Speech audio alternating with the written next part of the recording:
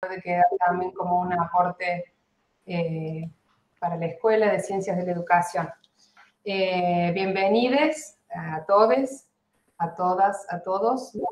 de alegría este encuentro en torno a un panel con Susana Barco, Alfredo Furlan y Gloria Edelstein. Esta actividad surge en articulación con el programa de Derechos Humanos que coordina Victoria Chabrando en esta facultad, a quien le agradecemos mucho. Y también quiero agradecer especialmente a Alicia Sin y a Patricia Mercado, quienes desde el mes de febrero eh, se acercaron con distintas inquietudes para abordar el 24 de marzo, Día de la Memoria por la Verdad y la Justicia. Memoria, verdad y justicia son banderas para la Escuela de Ciencias de la Educación y la Facultad de Filosofía y Humanidades de nuestra universidad. Particularmente en este año, a 40 años de la recuperación de la democracia. Momento que vivimos de un modo situado, con reflexiones y sentimientos enraizados en nuestra propia historia como escuela, en hilos que se entretejen tiempo y espacio en común. Para quienes estamos aquí y emprendemos un trabajo. Estoy conectada. Bueno, para esto vine. Porque no podías conectarte para esto.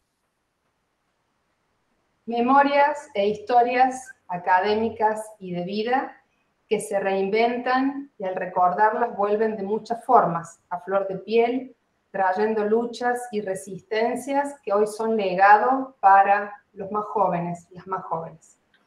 A todos quienes lo han hecho posible, a quienes están aquí, a tantas maestras mías y maestros que están aquí, y especialmente a los integrantes de este papel, de este panel, perdón, muchas gracias.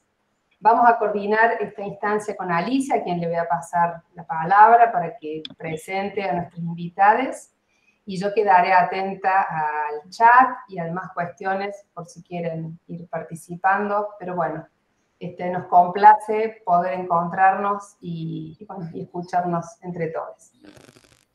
Bueno, buenas tardes a todas, a todos. Para no perder más tiempo, voy a entrar directamente, digamos, en, la presentación.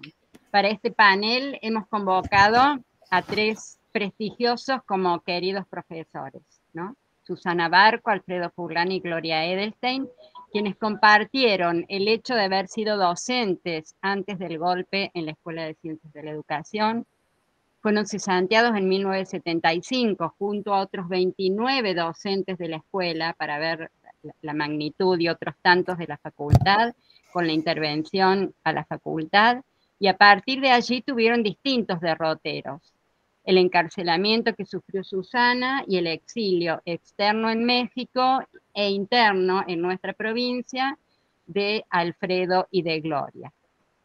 Las inserciones posteriores también han sido este, variadas, diferentes, pero eh, los tres nos han dejado este,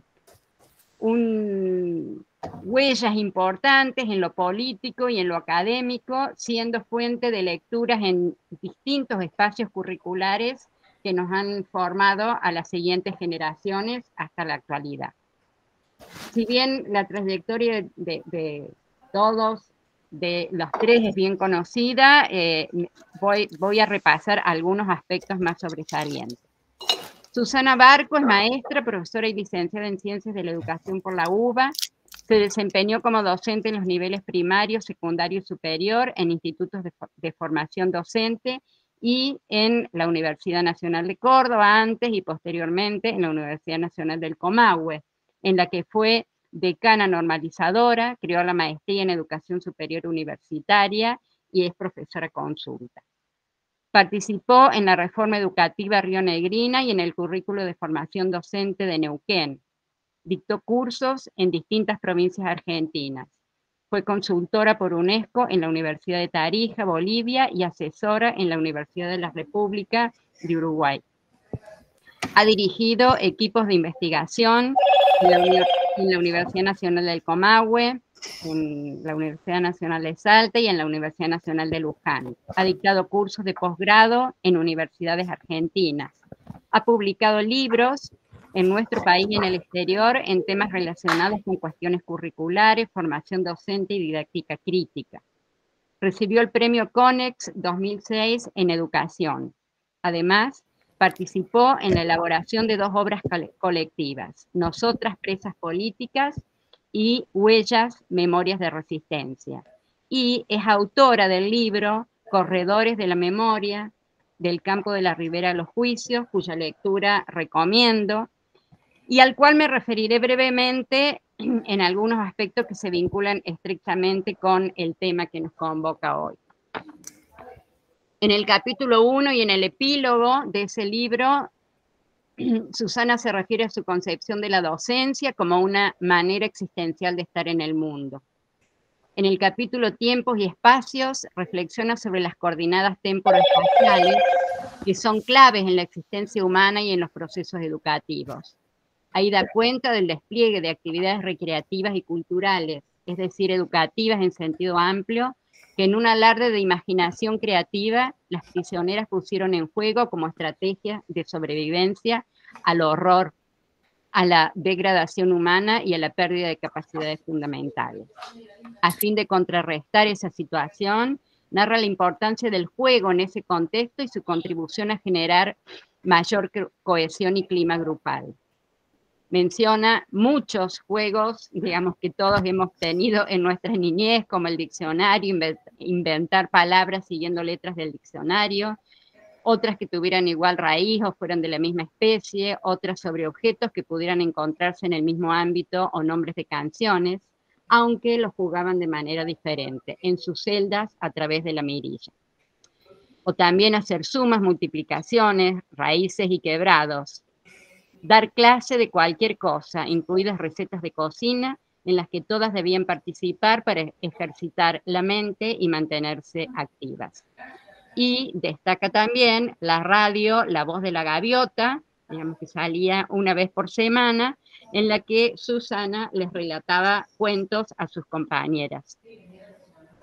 En ese mismo capítulo reivindica el lugar de la memoria, diferenciando el memorismo como ejercicio mecánico de la reproducción que mata la capacidad de análisis, imaginación y crítica de la memoria, en tanto un complejo, rico y fascinante proceso humano en el que nada está y permanece de una vez y para siempre, sino que todo está siendo, rehaciéndose, acompañándonos en nuestras transformaciones y ayudándonos a proyectarnos.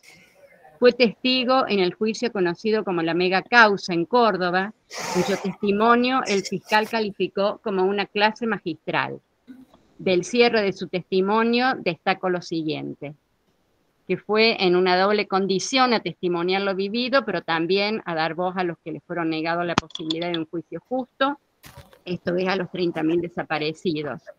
Pero como esa es una cifra fría, evocó a tres de sus estudiantes en representación de todos. Eduardo Requena, Juan Carlos Carnich y Leonor Landabur. También una cita de Saramago que dice, somos la memoria que tenemos y la responsabilidad que compartimos. Sin la memoria no existiríamos, sin responsabilidad quizá no mereceríamos existir. Y por la actualidad que cobra en este tiempo en que la justicia juega principalmente a favor, de los poderosos, destaco. Ella dice, sabemos que los jueces hablan por sus fallos. No creo que sea por deformación profesional que enseñan en mayúscula con sus fallos. Colocan señas que orientan a quienes las reciben porque tienen alto contenido ético. Ojalá muchos jueces escucharan esto. Paso a Alfredo. Alfredo Foulán es maestro, profesor de educación física, profesor y licenciado en ciencias de la educación y doctor en ciencias de la educación en la Universidad René Descartes de París 5. Mientras estuvo en Córdoba, trabajó como profesor de educación física en escuelas secundarias y como docente de ciencias de la educación en las universidades de Córdoba, Río Cuarto y La Pampa. Ya radicado en México, en 1976 se incorporó a la Escuela Nacional de Estudios profesionales Iztacala de la Universidad Nacional Autónoma de México, donde trabajó intensamente. Ha impartido cursos de posgrado en las universidades de Buenos Aires, Córdoba, Río Cuarto, Comahue, Salta, San Luis, La Pampa, Quilmes y Paraná, todas ellas de Argentina, de Santo Domingo, de la República Dominicana y una universidad privada en El Salvador. En México, en las universidades de Querétaro, Hidalgo, Chiapas, Guadalajara, Guanajuato, Zacatecas, Sonora, Nuevo León, en el Colegio de Pedagogía y en la misma UNAM. Los temas más frecuentes han sido relativos al campo del currículum, gestión pedagógica de la escuela, evaluación institucional, teoría y sociología de la educación. En el Colegio de Pedagogía ha sido representante suplente de los profesores del área de pedagogía en el Consejo Interno de Estudio de Posgrado. Se le asignó el nivel D del PRIDE y ha participado en la comisión evaluadora de este programa. Ha sido representante suplente de los profesores de la ENEPI en el Consejo Académico del área de Ciencias Sociales y recibió el premio al mérito académico correspondiente al área de investigación de la ENEPI. Ha desarrollado investigaciones sobre didáctica, currículum, formación docente, gestión pedagógica, disciplina y teoría de la educación. Ha publicado en México, Argentina, Uruguay, Chile y España sobre esos temas. En los últimos años ha investigado en torno a indisciplina escolar, violencia y convivencia en las escuelas y cuenta con valiosas publicaciones en esos temas. Gloria Edelstein es licenciada y profesora en pedagogía por la UNC y doctora en educación por la UBA. Ingresó a la docencia universitaria en nuestra facultad en 1964, fue cesanteada, como ya dijimos, en el 75 y reincorporada en 1984. Mientras estuvo cesanteada, desarrolló una intensa labor en escuelas de contextos sociales desfavorecidos. Al reincorporarse a la docencia universitaria, emprendió un significativo trabajo con las facultades de agronomía y medicina, coordinando procesos de renovación curricular, cambios de planes de estudios, colaborando con los procesos de institucionalización y democratización de estos espacios. En nuestra escuela, coordinó la cátedra Metodología, Observación y Práctica de la Enseñanza, conocida como MOPE, actual Seminario Taller de Práctica y Residencia para la Formación Docente. Desarrolló una extensa labor en la gestión. Ha sido directora de la ESE entre 1990 y 94, consejera por los profesores titulares en el Consejo asesor de la escuela entre 1996 y 1998 y consejera titular por los profesores titulares en el Consejo Directivo de la Facultad en dos periodos, 1998, 88-90 y 2002-2004. Fue decana de dicha facultad entre 2008 y 2011. Ha dirigido numerosas investigaciones y cuenta con una vasta producción, sola o en coautoría, de libros, capítulos y artículos relacionados con metodologías de la enseñanza, formación de profesores y práctica y residencia en la formación docente. Ha recibido premios a la actuación académica, impulsó la creación del doctorado en ciencias de la educación en nuestra facultad y formó parte de su comité académico. Ha sido evaluadora en distintas universidades y en organismos de ciencia y técnica. Elaboró el diseño del campo de la práctica para la formación docente en la provincia de Córdoba. Actualmente es docente de posgrado en numerosas universidades, entre ellas la nuestra, la Universidad Nacional de mm, Nordeste y la Universidad Nacional de La Plata. Participa de proyectos de investigación y cooperación internacional, es profesora emérita en nuestra universidad desde 2014 y profesora honoraria en la Universidad de Misiones. Bueno, como ustedes ven, este, huelgan las palabras ante semejantes trayectorias. Pero creo que lo que a todos nos une en este momento es el compromiso, el compromiso político con la sociedad y con la universidad. Las presentaciones serán en el orden que mencioné en la lectura. Cada panelista tiene aproximadamente 15 minutos para su presentación y luego abriremos al intercambio este, con los asistentes y también eh, la posibilidad de que intercambien entre ellos. Puede ser que al escucharse surja la necesidad de completar, ampliar algo de lo que había quedado en el tintero. Y eh, como me toca el papel de moderadora, este, si yo veo que se extienden demasiado, les voy a hacer algunas señas. ¿sí? Bueno. Escuchamos. ¿Comienza? ¿Me escuchan? ¿Me escuchan?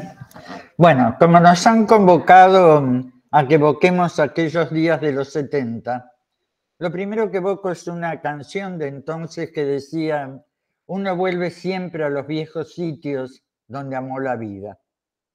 Y acá estamos volviendo, juntas, amando siempre la vida.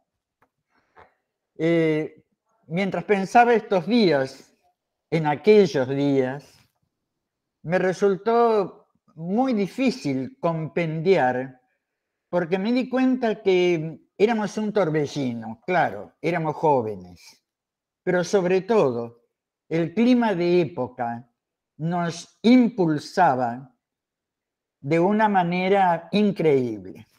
Pero esto tenía también sus antecedentes. En el Onganiato, cuando la noche de los bastones largos, Buenos Aires renunció en masa. Córdoba no tenía para hacer una renuncia en masa. Y en cambio, docentes de arquitectura y de nuestra facultad, incluyendo gente de nuestra escuela, por supuesto, hicimos una serie de presentaciones, notas, etcétera, etcétera, sabiendo, lo sabíamos inicialmente, que eso iba a costar que nos cesantearan. Pero no dejamos de hacerlo. Y nos acompañaron, porque mm, por la escuela cesantearon a María Saleme y a mí, y nos acompañaron jefes y ayudantes de trabajos prácticos que compartían eh, la protesta que realizábamos por el avasallamiento de la universidad.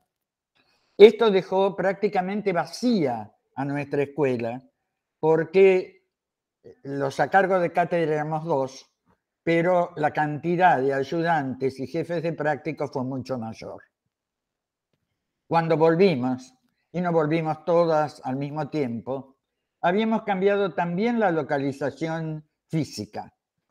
De estar eh, en las guardillas del residencial, pasamos a estar en lo que los estudiantes llamaban entonces el Biafra.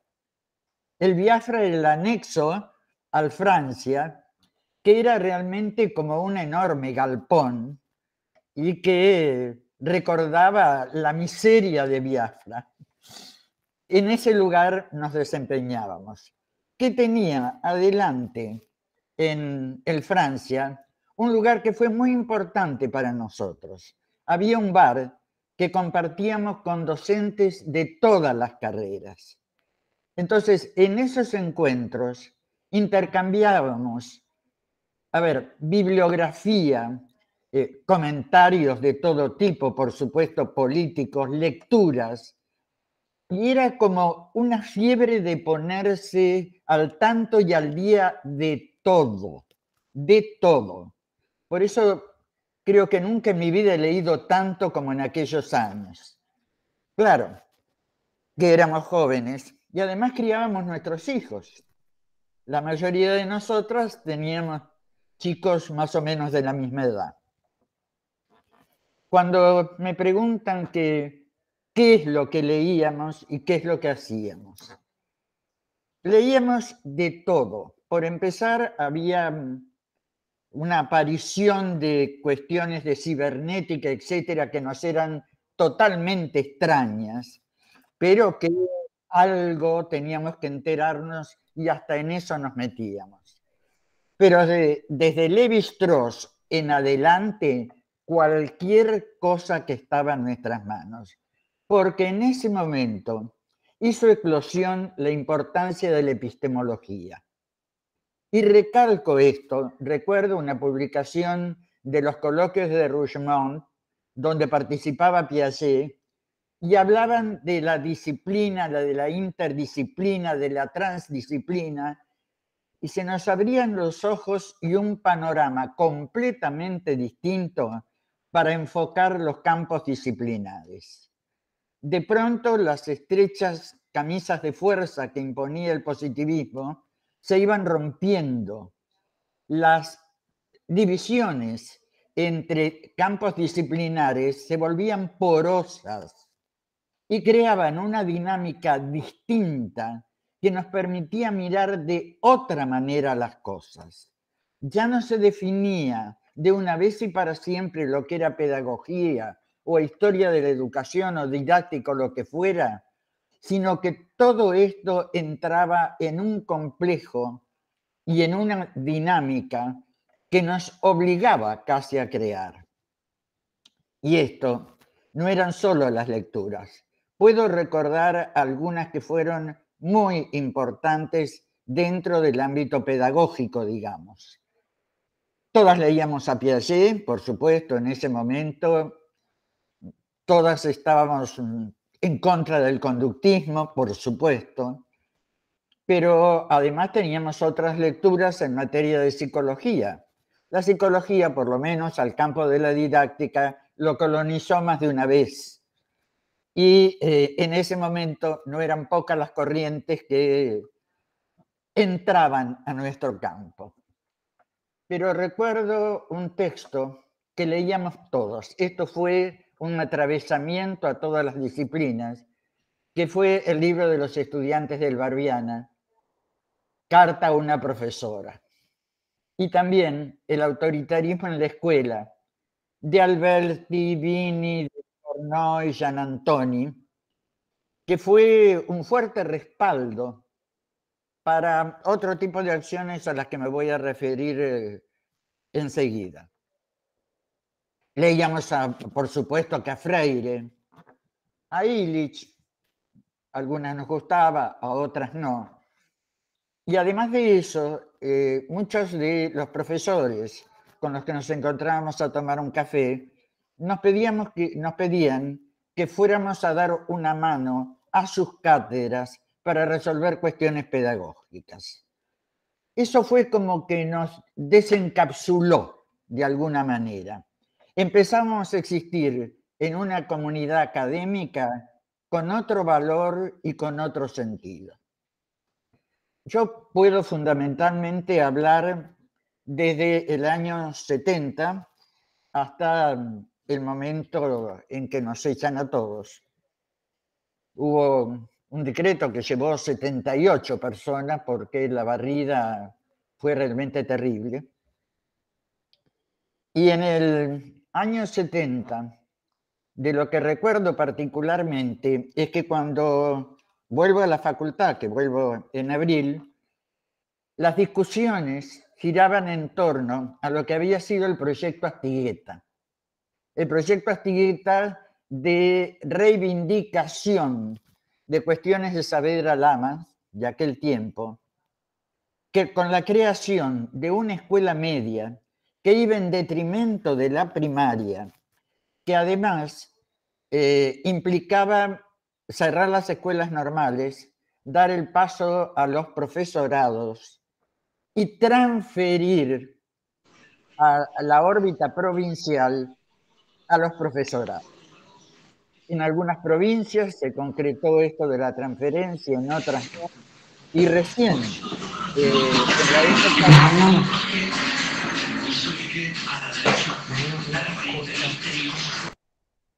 Recién en, en, la época de Malek, en el 71, anularon este proyecto, pero las provincias que habían recibido ya la transferencia ya estaba hecha. Recordemos que todo esto vuelve en la época del proyecto Braslaski. Es decir, esa escuela intermedia, con todo lo que implicaba, porque había, había también una cancelación de derechos del estatuto del docente. ¿Cómo no íbamos a implicarnos como escuela en esto? Esta fue una de las primeras cosas. Por otro lado, aunque yo trabajaba en la cátedra de didáctica general y recuerden que yo estaba tres días en Córdoba, nada más porque vivía en Villa María. O sea que tenía un campo de acción un poco más restringido. Durante el gobierno de Obregón, Cano, muchas de nosotros fuimos a trabajar al Ministerio de Educación, dando apoyo no solo con cursos, asesorando en diversas cosas. Y era otra actividad. Es época también en que se crea ADIF. Antes de, sí, con la creación de ADIF, eh, tenemos un gremio, perdón, una asociación docente, porque desde el comienzo luchamos porque se llamara gremio, pero esto no fue aceptado y sigue llamándose, como en muchas universidades, no solo la de Córdoba, asociación. Parece que los docentes universitarios pertenecemos a, otro estrato y entonces nos asociamos y no nos agremiamos. Perdón, ustedes saben que yo soy irónica. Eh, otra actividad entonces era la actividad gremial, porque desde eh, ADIF eh, salieron unos cuantos documentos hablando sobre temas educativos en los que intervinimos. Otra actividad era que, aunque la cátedra era de didáctica general, salimos a las escuelas. Salimos a las escuelas primarias, escuelas no de centro, por ejemplo, a Talleres Este, una escuela de población de gitanos, donde la directora mm, hacía la vista gorda si no tenía los documentos necesarios, porque los gitanos no querían documentarse, y el alumnado iba y estaba presente en las clases y acompañaba a las maestras y estaba en todas las actividades de la escuela. Era la primera vez que enfrentaban la realidad de una escuela concreta. Recuerdo esa particularmente porque, debo decirlo, mi tía era la directora y nos facilitó en mucho eh, y con muy buena voluntad todo lo que pudimos hacer. Y la otra actividad que recuerdo y cómo fue el taller total de arquitectura. En ese taller total trabajamos muchas de nosotras. En este momento recuerdo a Justa Espeleta, por ejemplo, a María Saleme, por ejemplo, que estaban a Marta Casarini, por supuesto. Y yo trabajé un tiempo también en el taller total. Fue un desafío muy, pero muy importante el de total. ¿Y cómo habrá sido de bueno que en la época de la dictadura aparecían pedidos de arquitectos diciendo abajo, excepto los egresados de los talleres totales, porque hubo en otras provincias también. Esto, si ellos consideraban que no eran buenos, imaginen ustedes que sí lo eran. Eh, pero el taller significó sobre todo el darnos cuenta que esto contra lo que habíamos peleado, que era la concepción de la didáctica como un recetario, se volvía en la práctica muy difícil porque no teníamos respuesta hecha para nada de lo que se nos iba presentando. Entonces, lo único que nos quedaba era tratar de enfocar y interpelar a las bases teóricas de todo tipo para ver cómo podían ayudarnos a comprender mejor la situación y a crear respuestas a esto. Creo que esa fue una tarea muy, muy importante que hicimos. Lamentablemente luego pasó lo que pasó con el taller total, pero yo estoy hablando de cosas que, se hacía, que hacía desde la cátedra. Hay algo que nos unía a todas, más allá de los intercambios, más allá de las discusiones en algunos puntos en los que no acordábamos, por supuesto, hubo otra modificación importante. En el fárrago bibliográfico que manejábamos en esa época, estaban los institucionalistas franceses, entonces se empezó a pensar en modificar la dirección de la escuela. Y así como Biafra fue un nombre que pusieron los estudiantes al pabellón en el que eh, en el que teníamos nuestro lugar, también le llamaron al gobierno de la Escuela de Educación el Soviet, porque no, no había un director nos reuníamos profesores y estudiantes y tratábamos los asuntos que afectaban a la, escuela. Había una secretaria, el Zafarina, que se ocupaba de eh, las cuestiones, digamos, del papeleo, etcétera, etcétera. Seguramente que cometimos muchos errores. Era la primera vez que intentábamos también una cosa de esta índole pero yo creo que esto va mostrando cómo nos abrimos a la comunidad académica, nos reconocieron. Creo que esa fue la época que también Gloria fue a, Agrarias, Agrarias, no, Agrarias se llama acá. Eh, salimos, salimos de la escuela. Yo recuerdo haber ido a la cátedra de podio, por ejemplo, la cátedra en medicina. Es decir, había un reconocimiento de lo que la valía que tenía eh, la cuestión pedagógica dentro de la universidad. Eh, eso por un lado. Por otro lado, tengo algunos recuerdos eh, fuertes realmente, como momentos en que entraba una ordenanza y daba un aviso de bomba. Y entonces había que quedarse los docentes hasta que saliera hasta el último de los alumnos para poder correr detrás de ellos a pasillos que estaban inundados de estudiantes y docentes que escapábamos porque no sabíamos cuándo, como el pastor mentiroso, se iba a hacer realidad una explosión. Eran tiempos duros, sí, pero eran tiempos donde también cuando nos convocaban a una marcha, nos encontrábamos con los mismos estudiantes allí. Digo, había una horizontalidad, lo mismo en las asambleas, que eran docentes estudiantiles. Nada de esto, nada, hubiera sido posible si el clima de época no nos hubiera sostenido e impulsado.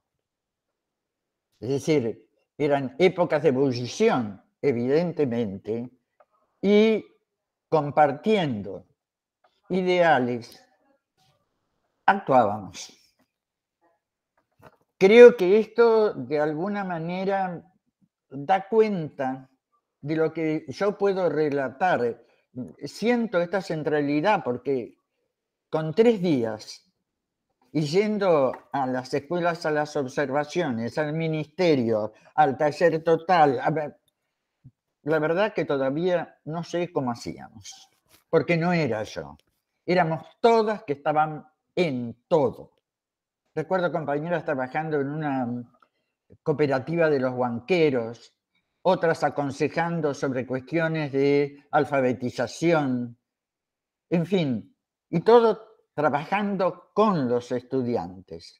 O sea, esta participación democratizó totalmente el conocimiento, la forma de gobierno de la escuela, nos llevó a una situación muy diferente de la que habíamos conocido y de la que pasarían a destruir totalmente, porque por supuesto que esto nada tenía que ver con las intenciones de la dictadura. Yo creo, creo que hay, que hay cosas que eh, quedan como, como los rizomas. Uno puede cortar una planta, pero el rizoma se extiende por debajo y llega un momento que vuelve a salir. Y creo que muchas de las ideas que teníamos entonces resurgieron a posteriori y seguramente que seguirán resurgiendo. El rizoma es difícil de combatir y espero que lo sea realmente. Creo, Alicia, que estoy en los 15 minutos. Sí, sí, sí, sí. Muchas gracias, muchas gracias, Susana. le damos, le damos la palabra a Alfredo, entonces, para continuar. Increíble. Maestra Susana, maestra. Bueno, eh, gracias Susana, un placer, un honor estar en este panel. Yo voy eh, a leer el texto de Alfredo, que he tenido el honor este, de que me ha elegido para esta lectura y estar en este hermoso panel de maestras tan, tan queridas como Susana, Gloria y Alfredo. la verdad, este, una emoción, porque además se mueven muchas cosas de cuando nosotros también éramos estudiantes en la época de la dictadura con ustedes. Así que, bueno, voy a pasar a leer tu hermoso texto, Alfred. De nuevo, gracias por el honor. Y el texto empieza así, con una pregunta. ¿Los años dorados? A poco de comenzar, me interrogué acerca del periodo de tiempo que abarca el llamado a recordar en este evento y me di cuenta de que puede ser muy elástico. Lo que voy a exponer amerita conocer el clima político que se vivía en la sociedad cordobesa, sin lo cual parte de la producción puede sonar a una exageración. Recortando a fuerza de hachazos la sucesión de eventos que fueron sucediendo, está el golpe de Onganía, la muerte de Santiago Pampillón y las movilizaciones estudiantiles, el cordobazo, el viborazo, la subida al poder de la NUCE, el desarrollo de la lucha armada, los sindicatos de obrero de CITRAC y CITRAM, Agustín Tosco en Luz y Fuerza y René Salamanca en la Kaiser, Atilio López y la apertura democrática, el acuerdo con Perón, el triunfo de la Cámpora y en Córdoba de Obregón Cano, la vuelta de Perón, la política educativa con Tayana, la muerte de Perón y la asunción de Isabel Perón, el cambio de ministro de Educación y la intervención en las universidades, el Navarrazo, los grupos paramilitares y en el ámbito pedagógico la edición de la revista de Ciencias de la Educación y la constitución de CETERA. ¿Qué pasaba en la Escuela de Ciencias de la Educación? Se abría la costumbre de escribir lo que se estaba pensando y con ello se consolidaba la presencia de autores. Yo no me daba cuenta en esa época, pero esa fue parte de la experiencia en México. Los textos escritos posibilitan una, una recepción revestida de autoridad. Voy a comentar algunos textos publicados en esos años y me excuso por ceñirme a unos pocos y dejaré de lado a otros, no porque no tengan valor o poco valor, sino por razones de economía de esfuerzo, además de que no los tengo. El primero que voy a comentar es el escrito que hicieron Justa Espeleta, Marta Teobaldo y Guillermo Villanueva sobre la carta a una profesora de los alumnos de Barbiana. El artículo fue publicado con el título de Educación, Ideología y Control Social. El texto comienza con un toque directo al lector. Abro comillas. Después de haber superado el impacto de la primera lectura de la carta a una profesora, no es difícil pensar que los sistemas educativos burgueses puedan darse el lujo de tener alumnos de Barbiana. Cierro comillas. Enseguida dicen que la carta a una profesora es una denuncia implacable e impecable de un sistema educativo que justifica su rendimiento por lo que selecciona y que denuncia las falacias con que se mantiene. Dicen que los alumnos combinan un tono de gran lucidez con ingenuidades que no desnudan por completo a la institución escolar, pero abren la posibilidad de una crítica señalando la posible causa de la problemática abro comillas, la particular configuración de la red de relaciones sociales en la que se inserta el sistema educativo y las formas culturales que éste adopta en consecuencia. Cierro comillas. Para los que no conozcan la carta, transcribo unas frases memorables. Ocho años quiere decir ocho grados distintos, no cuatro grados cursados dos veces cada uno la imparcialidad de exámenes y calificaciones. Entre paréntesis, no hay nada más injusto que dividir en partes iguales entre desiguales. Cierro paréntesis. Los modelos de conducta para estudiar con ganas en sus escuelas habría que ser arribista a los 12 años. Cierro paréntesis. Los fines, los contenidos, el lenguaje, los métodos, el clasismo, la particular manera de ser maestro, etc. Nada escapa a esta crítica difícilmente refutable. En fin, es un texto de valor indudable que recomiendo que se lo relea. Una de las autoras, Justa, años después, comentaba lo siguiente. Yo llevaba inquietudes que nacieron en Córdoba, compartiendo el trabajo de la cátedra de pedagogía con Marta Teobaldo y Guillermo Villanueva en los años previos a las dictaduras. Por ejemplo, estudiando la escuela de Barbiana, la, cotidianeidad saltó por sobre la prescripción pedagógica cosificada y saltó acompañada de la preocupación muy nuestra por un sistema regulando la escuela ese texto nos abrió una dimensión para mirar la escuela que no había existido en nuestra formación. Barbiana te provocaba una especie de fascinación con un maestro que ante todo buscaba el sentido de la educación para los chicos, atendiendo a los sentidos que poblaban la vida de esos chicos y al mismo tiempo invalidaba la escuela.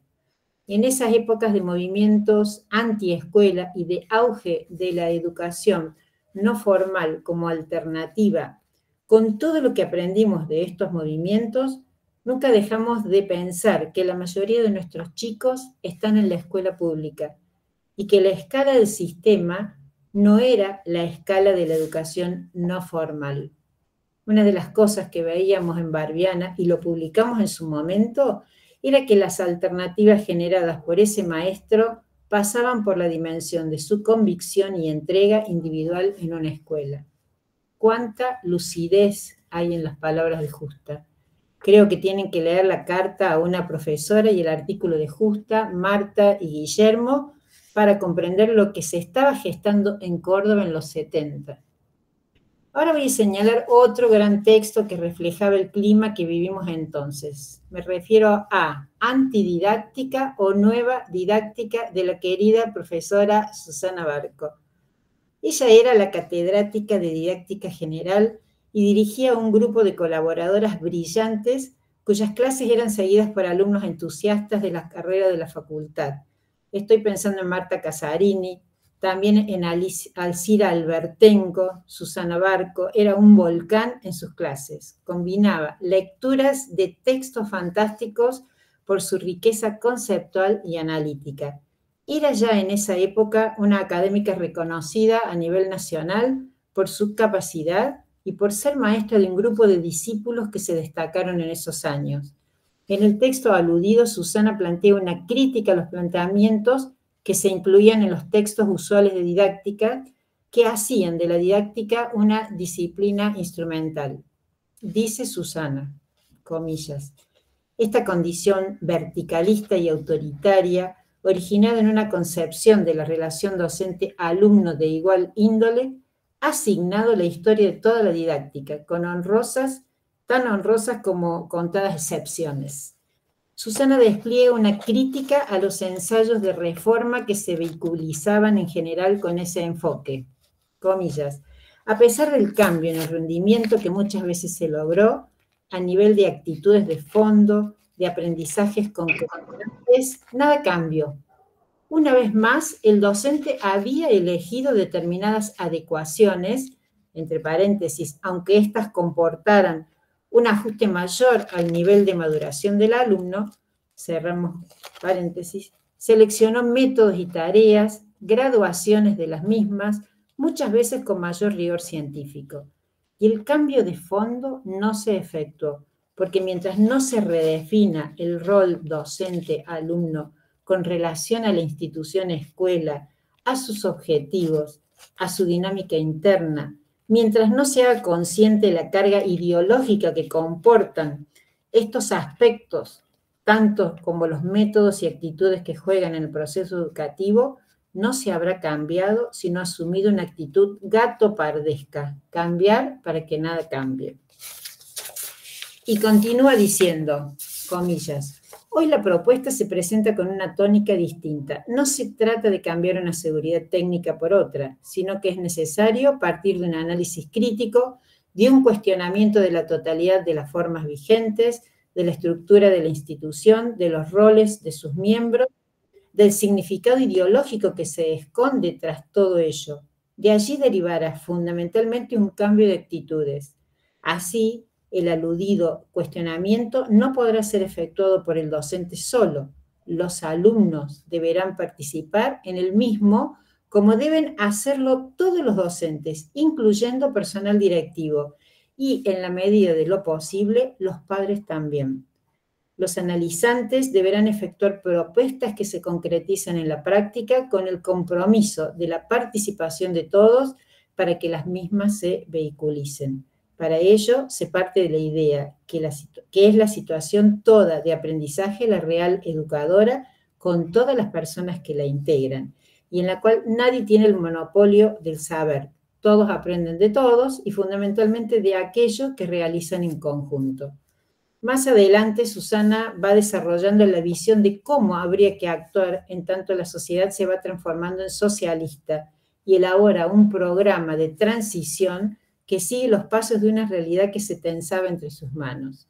Susana insiste en plantear requisitos para introducir los cambios, comillas, una nueva propuesta didáctica que pretenda producir reales cambios implica la revisión de las relaciones de los docentes con los alumnos, con los demás docentes, con el personal directivo y jerárquico, con los padres y con la comunidad toda.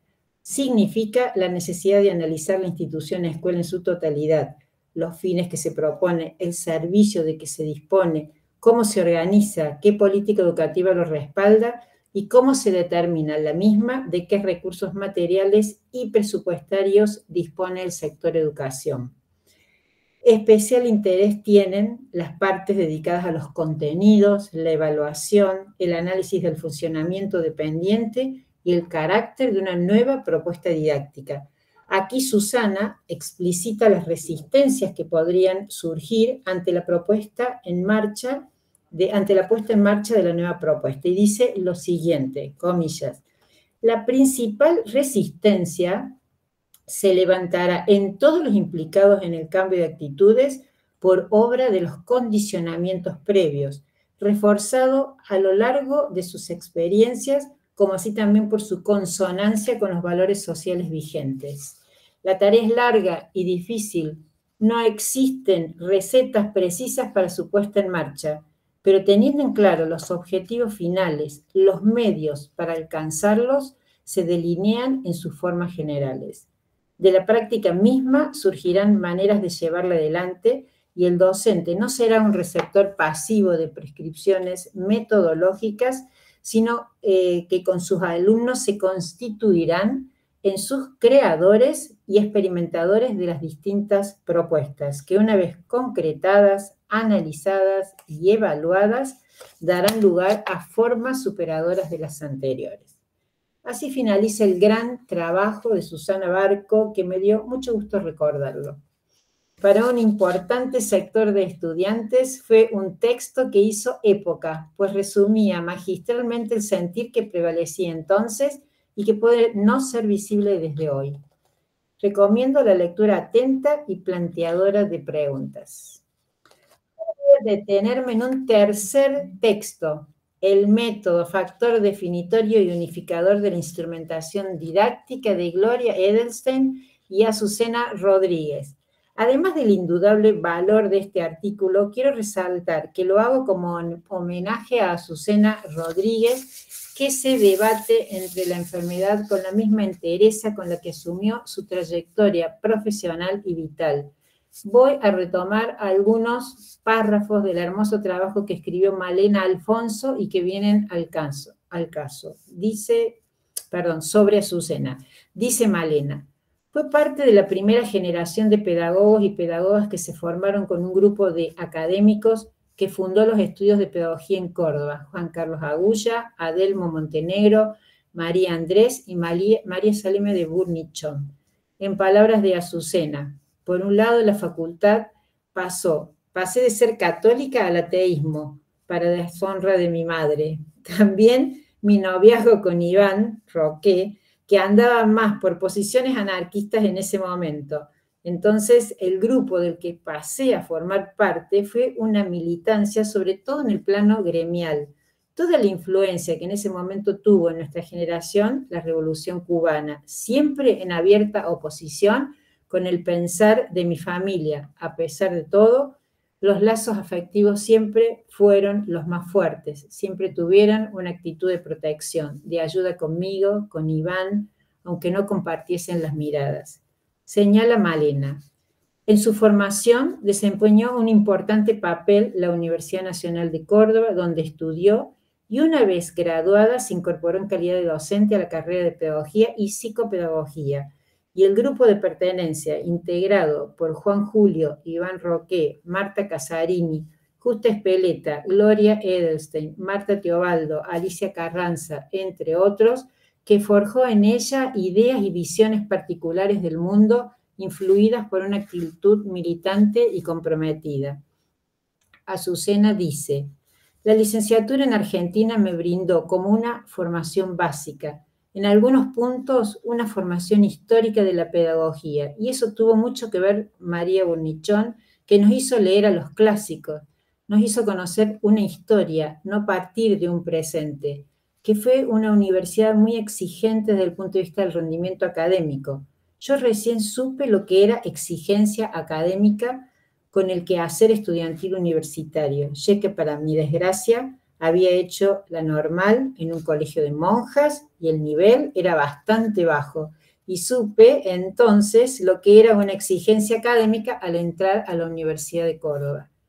En otro apartado de su texto apunta Malena, si las versiones de la didáctica en las que se formó Azucena todavía estaban muy ligadas a la psicología y a una concepción academicista de la formación docente, el contacto con personalidades como María Saleme de Burnichón el grupo de pares del que pasó a formar parte, la militancia de su primer marido, Juan Julio Iván Roque, su adhesión a la juventud peronista en 1973, las incursiones en formación docente y asesoramiento pedagógico y curricular que hizo en otras facultades de la Universidad Nacional de Córdoba, las lecturas de autores como Giorgio Vini, Lucio del Corno, Alberto Alberti, la Carta de una Maestra, alumnos de la Escuela Barbiana, entre otras prácticas discursivas, hicieron que se posicionara a favor del anti-autoritarismo, de acortar la distancia entre docentes y alumnos y de una perspectiva solidaria con los valores y concepciones de una pedagogía crítica,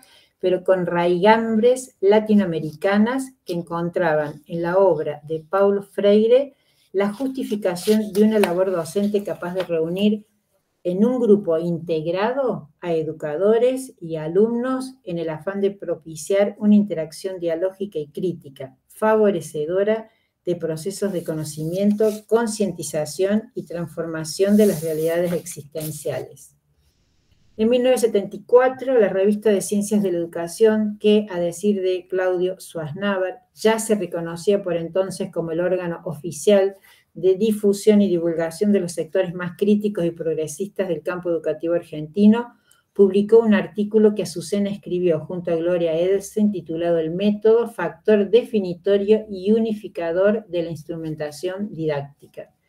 En dicho trabajo, las autoras se posicionan a favor de una didáctica crítico-positivista, propositiva, perdón, que no puede entenderse como una disciplina de puro orden técnico, cuyo objetivo sea el de prever el instrumental necesario, aplicable al margen de los objetivos y estructuras del sistema educativo imperante. Al contrario, la concepción de didáctica que sostienen supone un permanente diálogo entre la indagación teórica y la práctica educativa, siendo conscientes que las alternativas que puede ofrecer la didáctica siempre responden a un sistema de ideas definido y deben tener en cuenta las posibilidades de aplicación en una situación concreta. Hasta aquí lo dicho del escrito de Malena. Dicen Azucena y Gloria en El método factor definitorio y unificador de la instrumentación didáctica. Comillas. La didáctica implica una combinación de los niveles teórico, técnico, instrumental en el análisis y elaboración de los problemas de su ámbito, lo que supone una interrelación permanente entre la indagación teórica y la práctica educativa. En la actualidad no existe un proyecto que introduzca modificaciones sustanciales en el sistema educativo. Sin embargo, la didáctica, tal como la definimos, debe superar la etapa crítica para pasar a una de elaboración-producción. Es posible hoy, y sobre esto en general no hay dudas, indagar y profundizar sobre un sinnúmero de problemas de índole didáctica. Ello permite elaborar nuevas alternativas que, aunque por las peculiaridades de la estructura escolar no puedan instrumentarse ni verificar su validez de manera integral, signifiquen el germen de una nueva práctica educativa.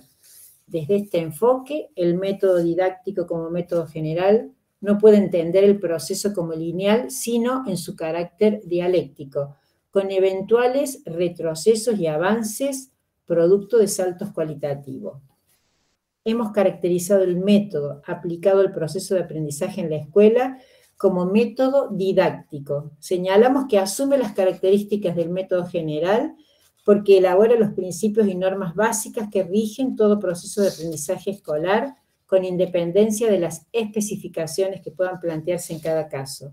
En consecuencia, el método didáctico aporta un marco referencial que para transferirse a situaciones concretas debe ser traducido en una metodología general e incluso a metodologías específicas. La orientación del proceso de aprendizaje plantea prioritariamente una definición acerca del método como factor unificador. La explicitación en este sentido como requisito previo permite la elaboración de una metodología, única forma de dar coherencia al proceso y lograr resultados efectivos. Ahora bien, si decimos que para la implementación del método en situaciones concretas es necesario elaborar una metodología como instancia intermedia, ¿cómo caracterizamos y qué papel asignamos a los procedimientos técnicos y recursos? Los definimos como componentes operacionales del método y al reconocer que este no es observable, afirmamos que solo puede inferirse a través de la utilización que de dichos componentes se hace.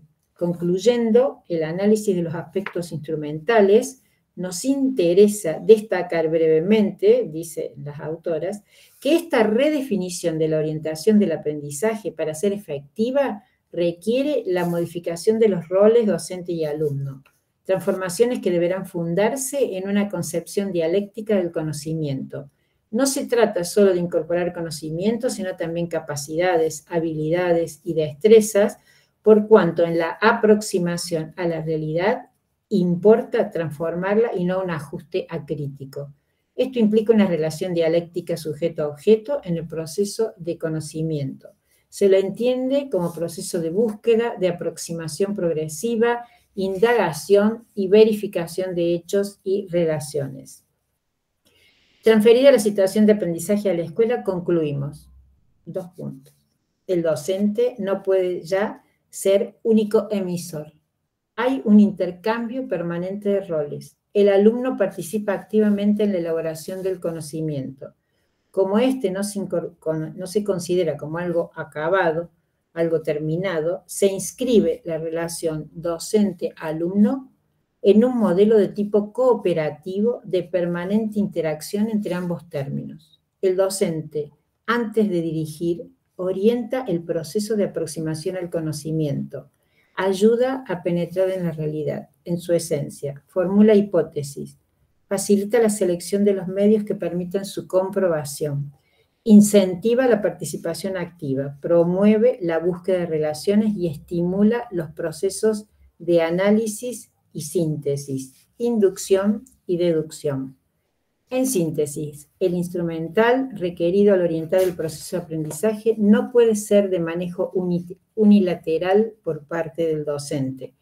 Debe ser elaborado y aplicado también por los alumnos, ya que el proceso implica producción conjunta del conocimiento. Cierro comillas.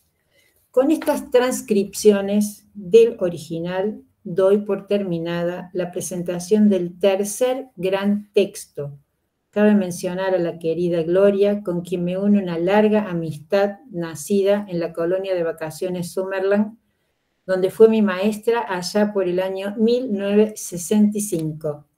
La inspiradora de mucho de lo que aquí hemos presentado fue María, María, silenciosa y profunda. Cuando hablaba era una maravilla en una entrevista realizada y publicada en su TEBA, encontramos perlas como las que siguen. Enseñar es aprender a escuchar. Enseñar es estar atento al gesto del otro. Una vez una alumna me dice en nombre de todos, María, ¿por qué no nos da la bibliografía al día? Yo no entendía a qué venía eso. Entonces, después de un rato, me dice, es que usted siempre nos dice que pensemos. Claro que les digo siempre eso, porque estoy harta de que en la universidad nos amparemos en la autoridad. Algunas reflexiones finales. Con esto voy terminando. ¿Qué nexos hay entre una militancia política y una militancia pedagógica? A juzgar por los textos presentados es muy fuerte, aunque ellos fueron escritos para un público cautivo en las cátedras de la, de la carrera de Ciencias de la Educación y no para un público amplio, como era esperable en un discurso político. Estos discursos buscaban trazar un camino para que transitaran los profesores y los estudiantes hacia una postura comprometida con lo que en ese momento pareciera alcance al alcance de la mano. La verdad es que en esos años veíamos venir y luchábamos para el logro de grandes transformaciones y había que estar mentalmente y profesionalmente preparados. ¿Qué se puede aprender de esta experiencia? ¿Cómo pensarla desde hoy? Muchas cosas. Lo primero es tener una buena lectura de los cambios a nivel mundial, de la política y de las fuerzas populares, de los planteamientos hegemónicos, del significado de las luchas feministas, de las demandas de los pueblos originarios, del nuevo individualismo profundamente digitalizado, de los problemas del cambio climático, del presente y del futuro de la inteligencia artificial. Hoy es posible una nueva escucha que alimente un compromiso como el que asumieron en su época las autoras de los textos que hemos recordado. Hasta aquí no. Qué. Magistral, Alfredo. maravilloso, Alfredo. Muchas gracias. Magistral, realmente. Un gran abrazo, Alfredo. Qué abrazos, abrazos. Madre uy, uy, Madre Santa. Bueno, realmente. Sí, obvio que me toca a mí, Alicia. sí, ahora, Gloria, te toca a vos, a remontar. Creo que con algunas similitudes disparé medio para otro lado, este, pero este, se nota la confluencia, está mucho con el final de Alfredo y muchas cosas que dijo Susana. Voy a decir la verdad, me da absoluto pudor compartir este, las cosas que medio, como yo digo a veces, a computadora alzada, este, escribí, anote porque estaba en un particular momento. Bueno, en primer lugar, quisiera expresar que esta participación implica en lo personal sumarme a la... Estoy emocionada de que encima nombre a Susana, tenerlos a Alfredo y Susana. Bueno, en lo personal eh, significa sumarme a la consigna memoria, verdad, justicia y el nunca más, cuyo sostenimiento entiendo es un valor prioritario mucho más en el contexto global que estamos viviendo, particularmente en el año en que en nuestro país cumplimos 40 años de democracia ininterrumpida, más allá de todas sus debilidades y las enormes dificultades que atravesamos en diferentes instancias. En esta clave, la ineludible lucha y la apuesta con la fuerza necesaria por una necesaria, imprescindible democracia, pero democracia plena. Razón de más para habilitar espacios de reflexión institucional sobre esta cuestión junto a las ineludibles y emblemáticas marchas del 24. Quiero expresar por lo mismo que me da gusto hablar acerca de la escuela, de nuestra escuela en la facultad y en la universidad, desde nuestras memorias marcadas por un tiempo histórico que compartimos con Susana y Alfredo, em, más allá de que en este panel podamos aportar miradas y sentidos diferentes según los avatares de nuestras vidas, lo que nos tocó tramitar y cómo pudimos hacerlo, porque es eso, cómo pudimos hacerlo. Las marcas en cada uno, en cada una. En este sentido y por ambas razones, un agradecimiento especial a la escuela, a las colaboradoras nombradas por Guadalupe, por tomar esta iniciativa. Bueno, entrando en el tema, organicé mi presentación pensando un poco en, la solicitud, en cinco puntuaciones. La primera eh, me lancé con una referencia al contexto sociohistórico predictadura, dictadura, llegando al golpe militar de los 70. Eh, ante todo, este, quiero salvar cualquier imprecisión o incorrección en términos histórico-políticos. En verdad, no manejo profesionalmente eh, demasiado esta dimensión y lo preparé medio sobre la hora por problemas personales. No pude buscar eh, información más rigurosa. Apelé entonces a mi memoria, que a esta altura puede fallarme, y más cuando se trata de un retorno siempre muy movilizante. Con el riesgo de una tremenda simplificación, se me ocurrió partir de los 60 en adelante, un tiempo en el que se conjugan instancias de democracia, aún con sus debilidades, con otras de violencia política y respuesta represiva por parte del Estado, de elecciones y proscripciones, de golpes y destitución de gobiernos democráticos. No obstante, también de una marcada politización con expresión en las luchas obreras y estudiantiles. Un respiro, bueno, eh, unas cuantas cosas fueron mencionadas, ¿no? Un respiro del 63 al 66 con Ilia y el sector liberal del radicalismo que se enfrenta con la oligarquía y en función de ello el golpe del 66, en el que me importa destacar, lo mencionó Susana, más allá de toda la historia previa que en una suerte de conspiración permanente le precede, destacar por su fuerte repercusión en las universidades y particularmente en la nuestra, dado que se producen ya cesantías de profesores, que agregaría lo dicho por Susana, no cobran la visibilidad de las posteriores cesantías, ¿no es cierto?, del 75, tanto que muchos docentes ignorábamos totalmente esta situación. María Saleme, eh, por mencionar este, eh, nuestra maestra, nuestra gran maestra, fue cesanteada ya en esa, en esa oportunidad. Y debo decir que una marca fuerte en mi memoria, este, imborrable. María había sido profesora mía, tuve el privilegio de tenerla en las dos didácticas, ¿no?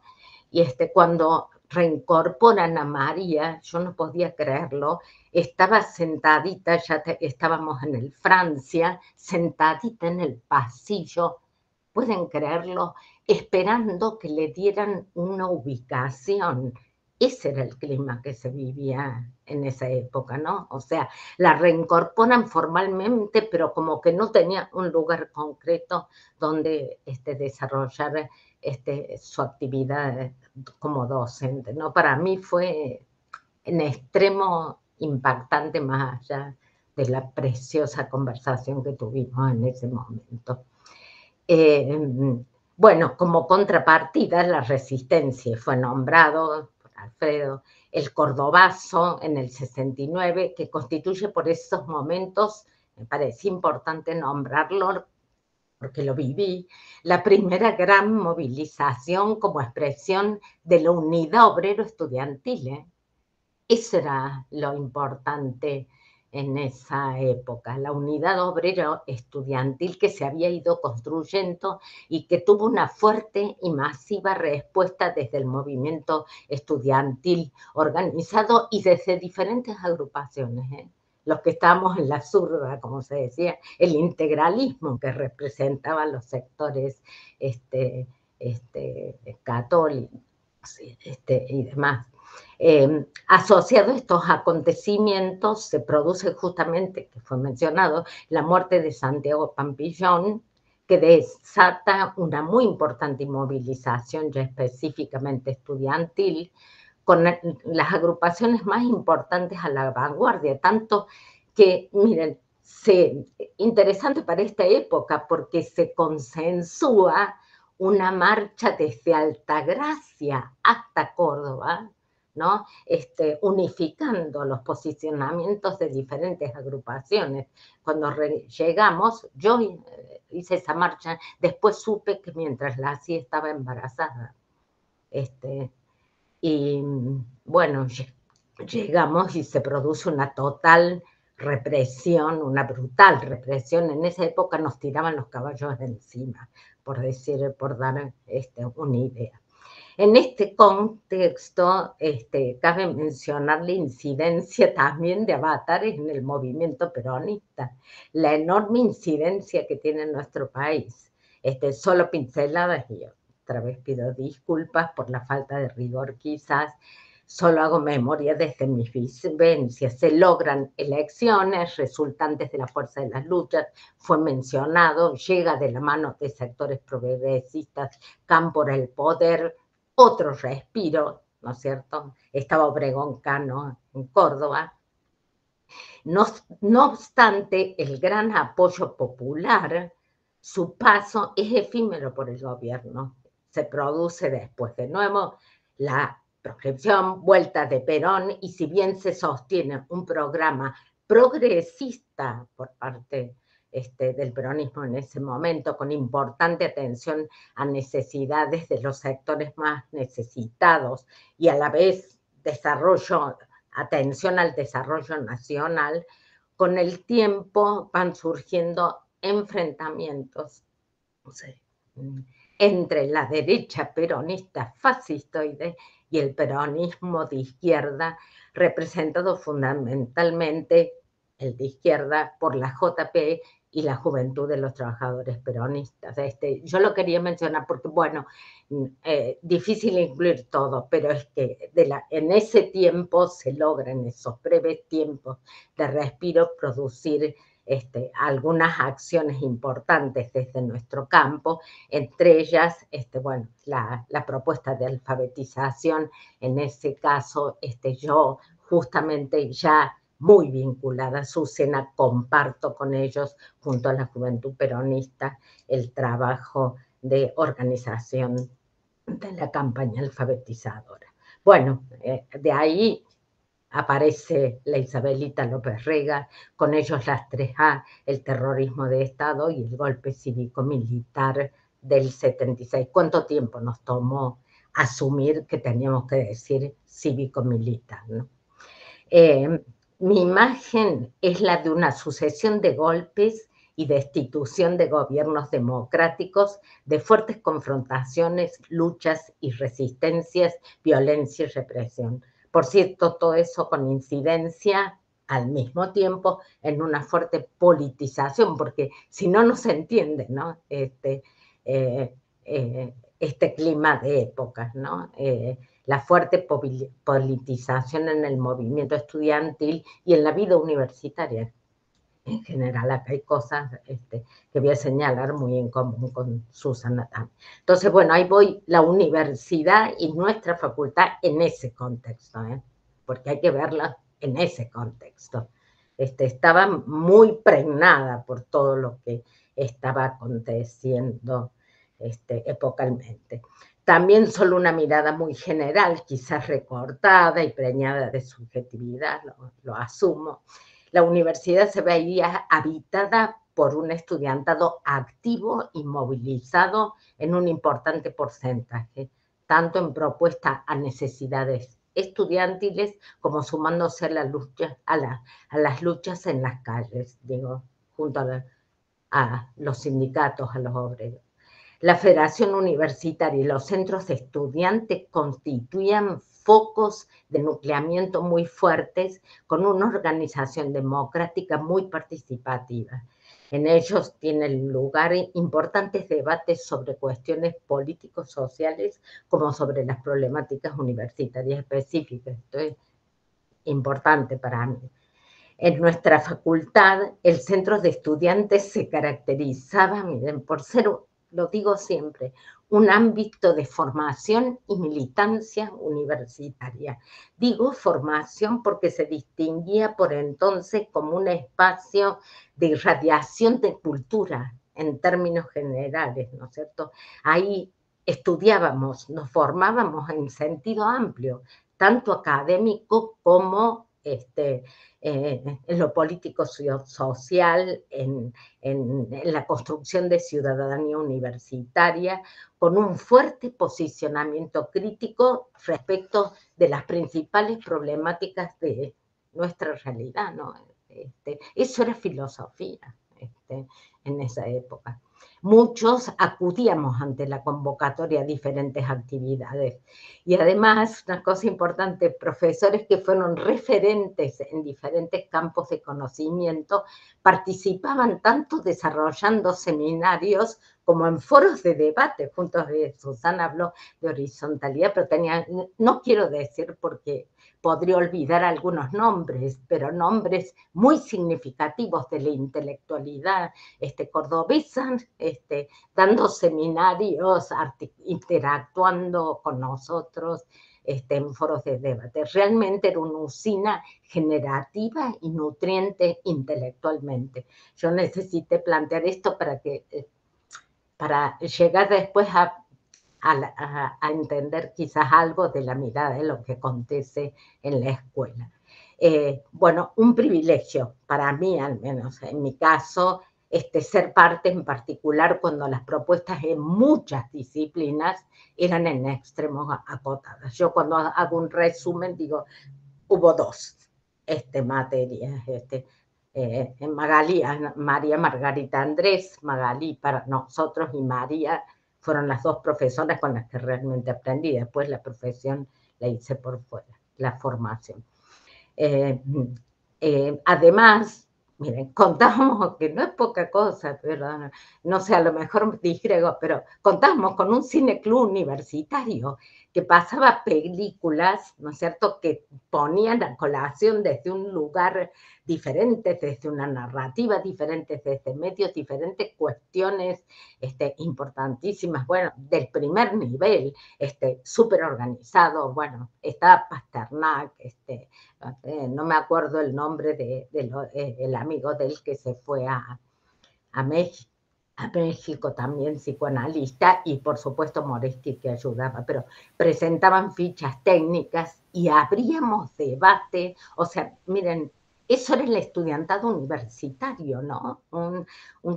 una usina de debate, de, de discusión en sentido amplio.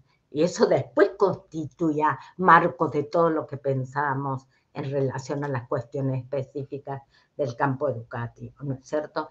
Otro ámbito, también lo quería decir, fue que eh, Susana dijo algo, la gremial docente, pero yo lo que quería destacar es que estaba muchas, este, eh, muchos periodos presidida y en las comisiones directivas integradas por profesores notables. Este, eh, Magali, eh, María Margarita Andrés y el Maestrabú de Filosofía fueron presidentas de la gremial este, docente. Creo que se decía presidente. Ese era otro centro de irradiación, de debate este, permanente y de formación en, sentido amplio, ¿no? en, en, cuestiones centrales para una facultad como la nuestra.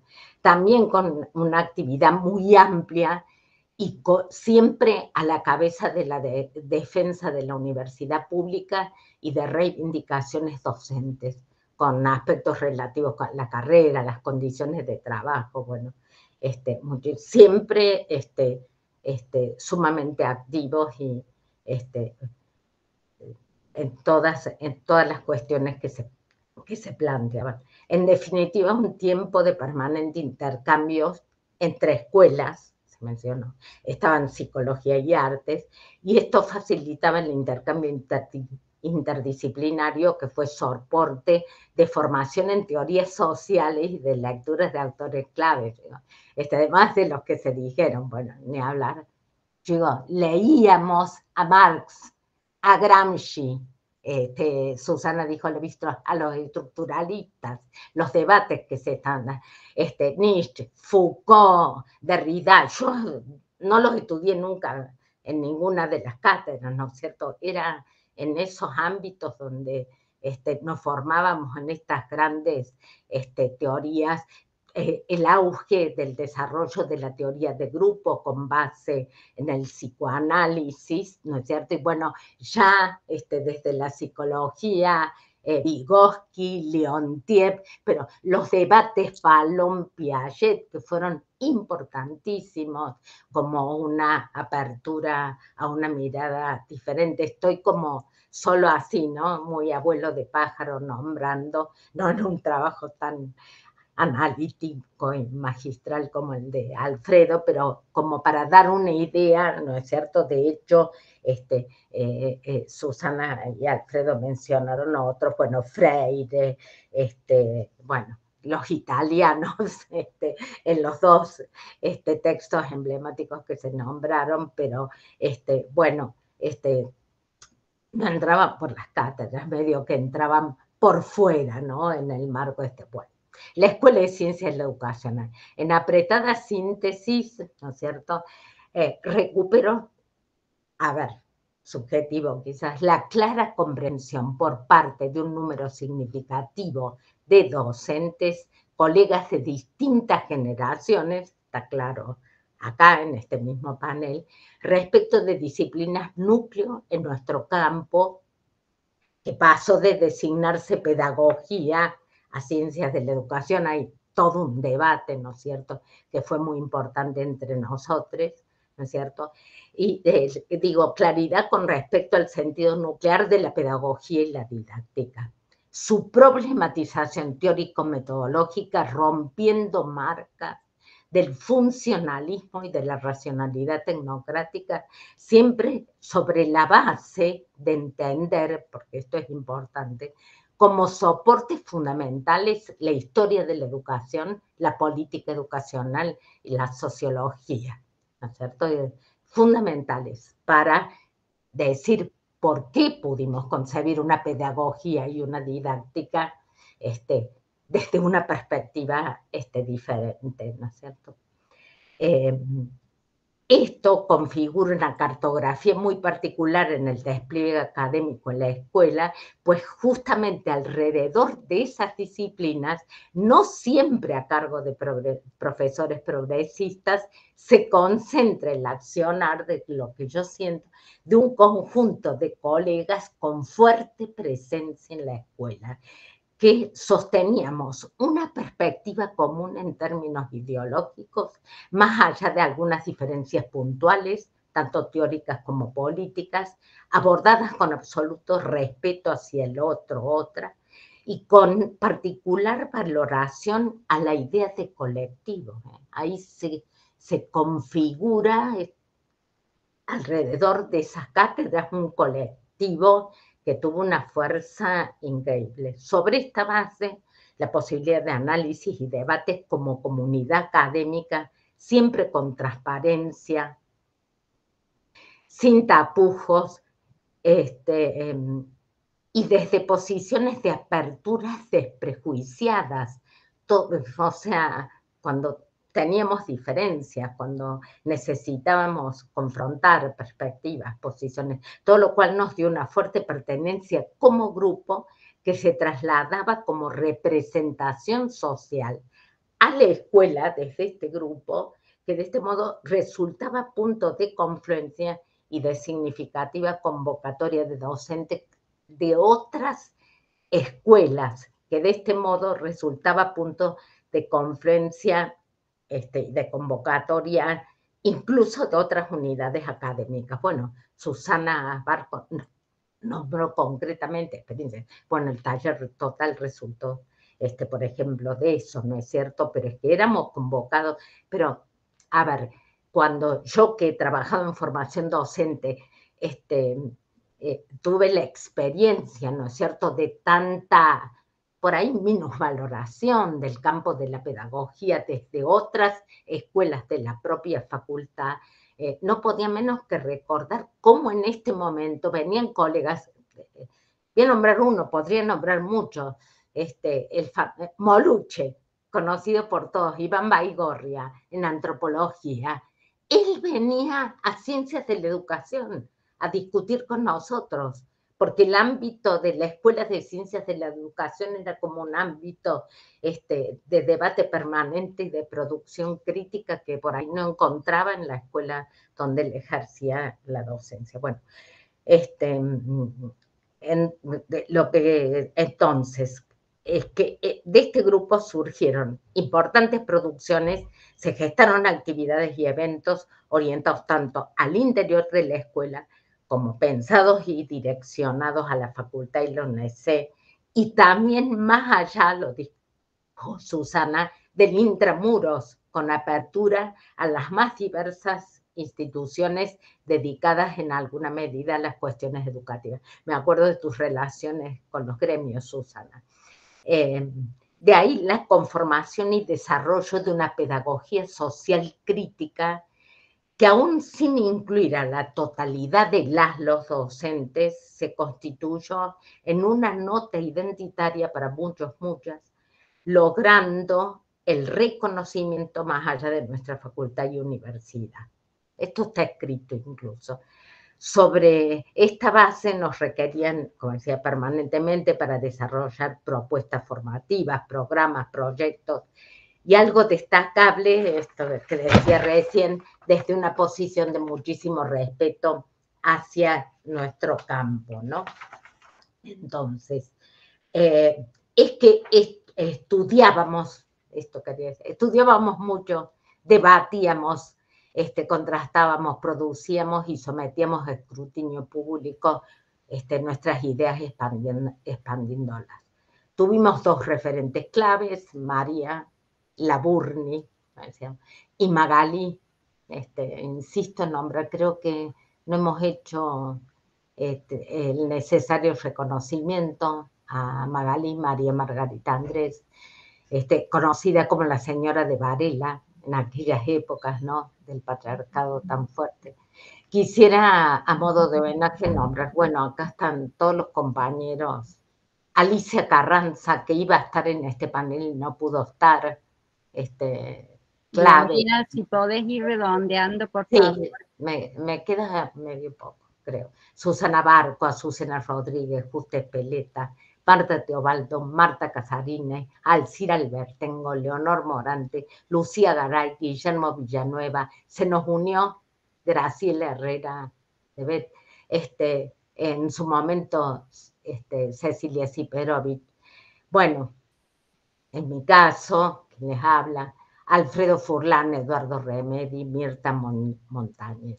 Bueno, estoy segura que la fortaleza de nuestras ideas y el sentido transformador de nuestras propuestas fueron claros indicios a la hora de armar las listas de quienes seríamos cesanteados y su concreción anticipada en nuestra facultad, pues las cesantías se produjeron en el año 1975. Algunos compañeros alcanzaron a salir del país ante la creciente persecución que ya se registraba claramente, vivieron el exilio con todo lo que significó para ellos, ellas. Otros nos quedamos en el no menos dramático exilio interno defendiendo y armando nuestras vidas como pudimos. Yo, yo saqué la cuenta, yo tenía 30 años entonces, estaba en pleno desarrollo de mi carrera profesional, tenía un entusiasmo y este, no me imaginaba que se nos venía encima esta noche, ¿no? Este, eh, quiero mencionar este, este, dos cosas. Este, una, porque Alfredo hizo referencia al artículo con Susana, a.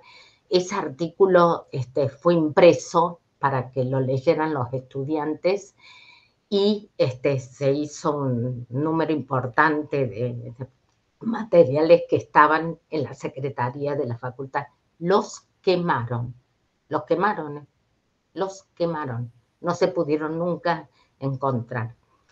Y, la otra que yo quería decir cuando, cuando a mí, que les aseguro, sin ningún pudor, con cierta ingenuidad, porque todavía, como lo que nos pasó con Malvinas, no teníamos claro este, esto, esta oscuridad que se nos venía encima, cómo me comunicaron que estaba cesante. A la edad que tenía me llamaron al decanato, estaba el interventor, que era un militar, y Pautazo, que era su secretario, y cuando me lo dicen, Pautazo abrió así su saco y estaba lleno de armas, lleno de armas.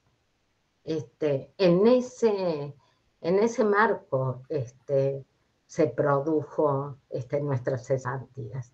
Este, eh, bueno, tiempo de pérdidas objetivas y subjetivas, muy duro de sobrellevar. Este, em, conservábamos corriendo riesgos algunas relaciones, tanto afuera como adentro, sería interminable referir a eso, las marcas y heridas que dejó. Y para terminar, quiero decir algo sobre nuestro papel, el papel de este grupo en la recuperación de la democracia. Este, eh, chiquito, a ver, Alicia, sé que me pase. No quiero dejar de decir que fue tan fuerte la conformación de este grupo en la escuela que a la hora de la recuperación de la democracia, este, ante una facultad totalmente devastada, porque teníamos muertos, teníamos los compañeros amigos que no regresaron y los necesitamos, que eran imprescindibles, ¿no es cierto?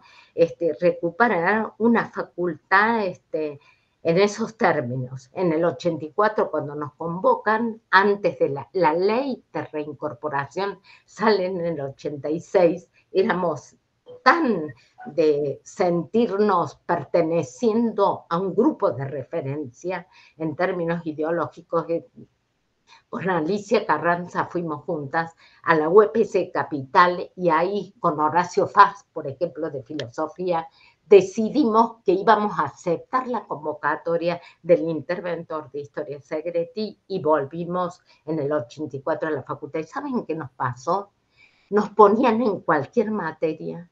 A ver, yo entré en una materia de primer año, este, la única este, donde una docente aceptó que yo volviera, porque no, no, no vuelvo al cargo en el que yo estaba concursada. Yo estaba concursada como adjunta, ¿no es cierto? Entonces entro como JTP en ese sentido, siempre mi, mi, agradecimiento a Lía Soria de Charriol en una materia que había inventado la dictadura, métodos de aprendizaje y de investigación, y una nota re interesante, por eso vos te acordaste, Susana, fui agro. Miren, este, una cosa muy impresionante ocurrió en Filo. Nosotros no pasábamos de, qué sé yo, de en ciencias de la educación no llegábamos nunca, así ni inscriptos, ni soñando. Bueno, este, cantidades, cantidades de, de jóvenes y no tan jóvenes que no habían aceptado cursar en dictadura se anotaron y en esa materia de primer año teníamos 500 alumnos 500 alumnos que no querían nunca que terminaran las clases. Yo recuerdo había una ordenanza, por supuesto, asociado a, la intervención que nos golpeaban el Francia anexo con un palo las ventanas de arriba para que termináramos de una vez por todas la clase. Y, y Gloria, discúlpame, pero quisiéramos dejar unos minutos para, para preguntas. Solo entonces cierro este, diciendo que este, em, la universidad, la, este, la facultad y la escuela fueron para mí un espacio de formación académica, social y política, pero además algo muy importante, ética y humanamente. Este, para mí eso este, fue imprescindible. Em, incidió mucho en, toda mi formación y estoy muy agradecida por eso. Lo, escribí, está dicho, agradezco, sigo agradeciendo el haber recibido este, esa formación y esa posibilidad de la facultad y la escuela. Bueno, nada. Muchísimas gracias, Gloria. bueno, ustedes habrán advertido muchas coincidencias entre los planteos de, los tres panelistas.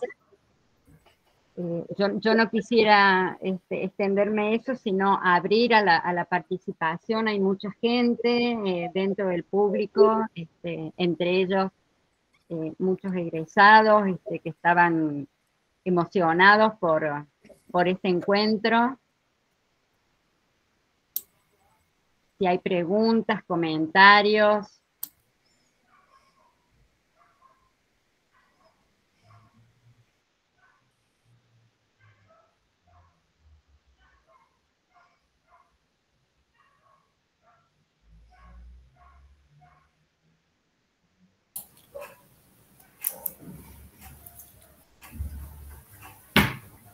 Yo creo que más que preguntas y comentarios, eh, un enorme espacio de gratitud para los que, para los que fuimos discípulos de Susana, Gloria, María, Magalí y todos los docentes que nos formaron. Eh, lo que traían Susana y, Alfredo y Gloria de esta, potencia transformadora que vivimos en la facultad de los años 70 y este, esta fractura del golpe que nos cortó en muchos sentidos la vida a todos, algunos con experiencias mucho más duras que otros, pero que, que uno puede, puede rescatar la esperanza, ¿no? La fuerza, el rizoma que traía Susana y la, potencia de lo colectivo. En diferentes modos, en diferentes formas. Recién en el chat, cuando arrancamos este encuentro, eh, yo le ponía a las colegas, estamos casi todo el CISEP, porque cuando, cuando volvió la democracia, armamos un grupo de educación popular. Eh, cuando nombraban la cooperativa El Banquero, con el Goyo Germán éramos, y otros, otros compañeros éramos parte del equipo de alfabetizadores eh, cuando hablábamos del cine, del cine universitario, no nos, alcanzaban, no nos alcanzaban las horas del día mm. para leer, para estudiar, para ir a las marchas, para ir al comedor, para ir al cine club, para ir al cine sombras. Y, y, me sucede algo que, que no es nostálgico como lo puedo vivir ahora, porque sé que todo eso vive en cada uno de nosotros de diferente modo, con menos fuerza, porque hay más jóvenes que lo están viviendo y lo están actuando hoy, pero como un espacio de aprendizaje colectivo que nos estructura y nos vertebra. Así que profundas gracias a los organizadores, a Susana, a Gloria, a Alfredo, a Alicia, a la Chela, a Nora Alterman, a Marcela Sosa. Y basta de nombrarlos porque voy a llorar mucho. Gracias.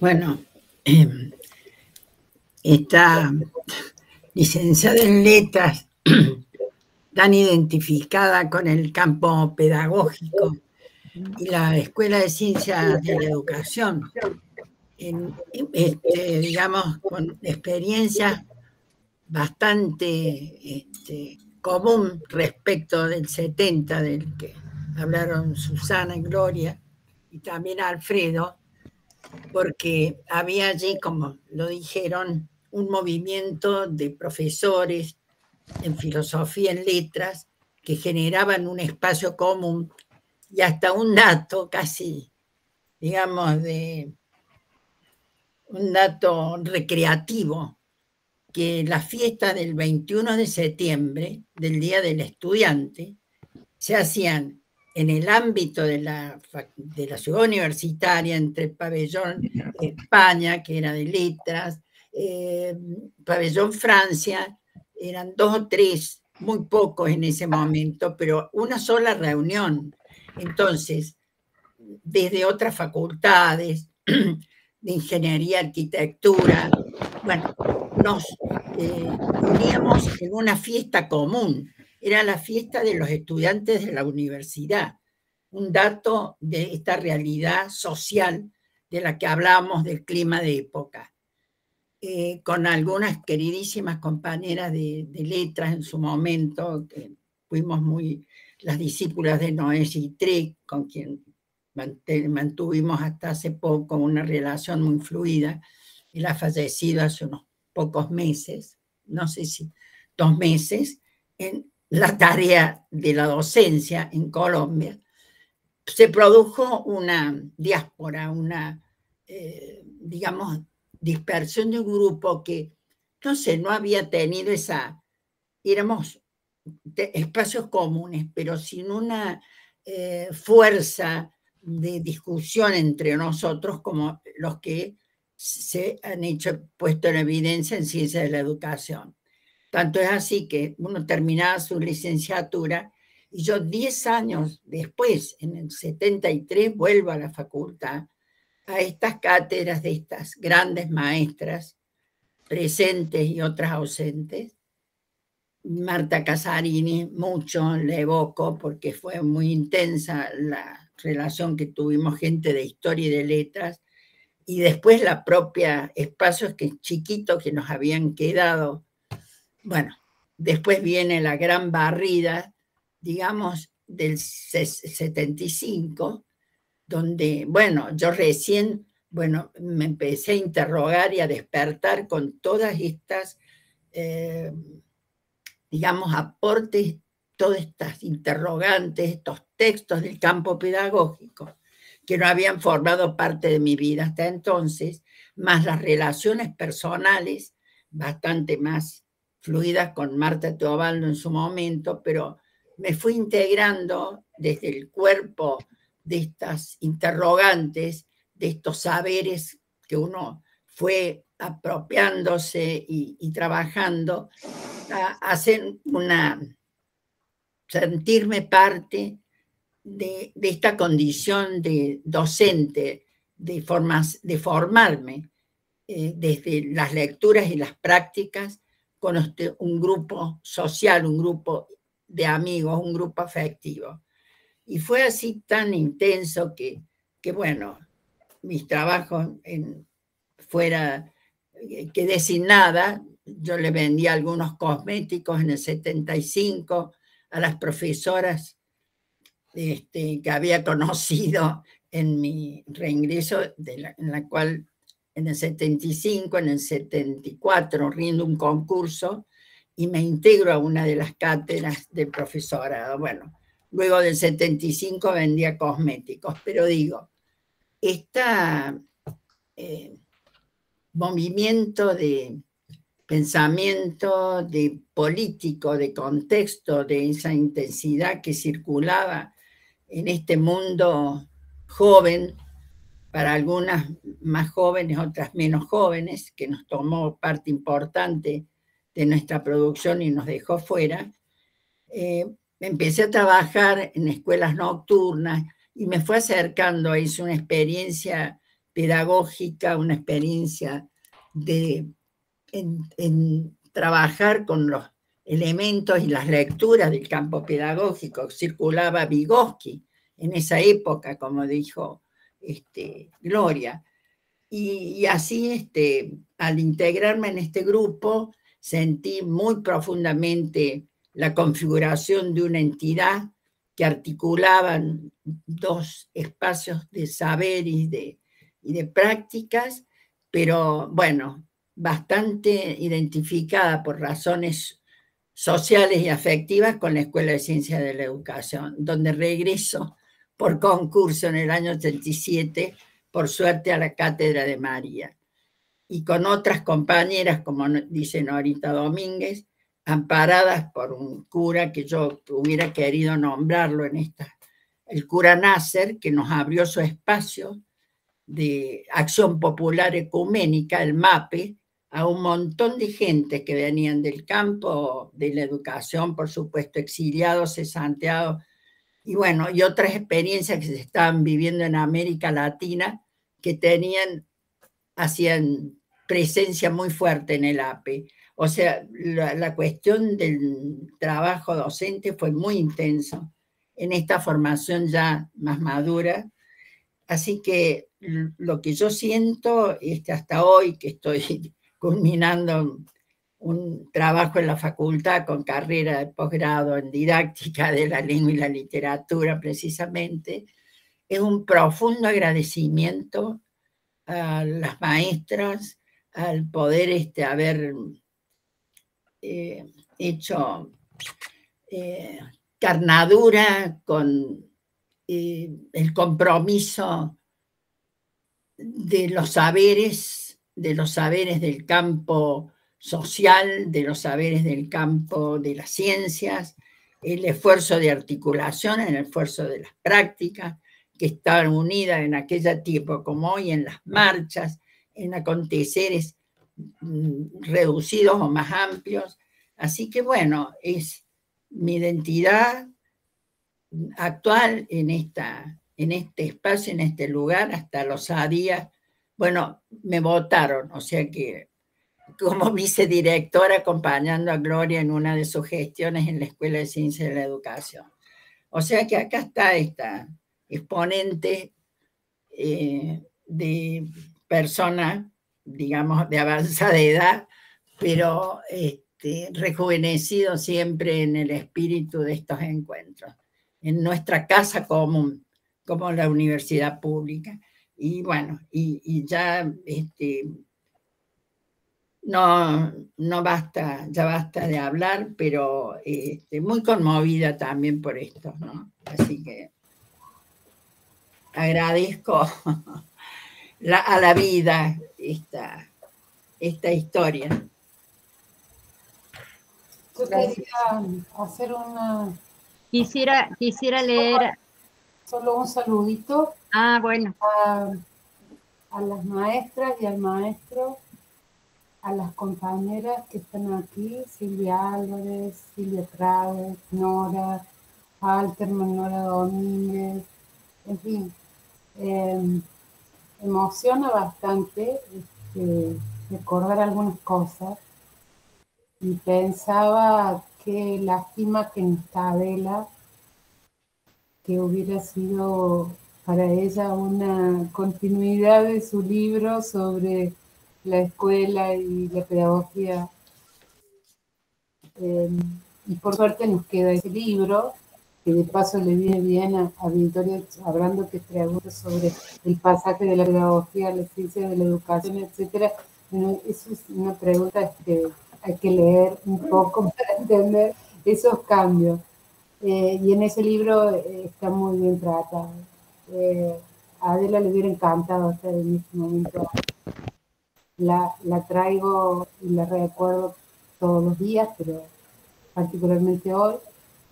Y también este, me parece que, que, que los rizomas están y seguirán estando. Y como sea, hemos tratado de, de transmitir un legado, cada uno de acuerdo a su forma, de su historia. Y, bueno, eh, para nosotros fue... Estaba pensando en esta frase del clima de época. Yo decía, clima de época, es inimaginable un clima de época así en este momento, muy sombrío, por cierto, en algunos aspectos, pero el clima de época era eh, que ganaba Allende en Chile en la, Unidad Popular y el clima de época era que Liber Sereni ganaba el Frente Amplio en Uruguay y a la vez el clima de época era que a los dos o tres años los volteaban y nosotros nuevamente, así como salíamos a disfrutar de eso, salíamos a denunciar esos golpes. O sea, eh, me parece que hay si hay un clima de época es la intensidad de, los cambios y demás. Y la otra cosa que me parece que marcó mucho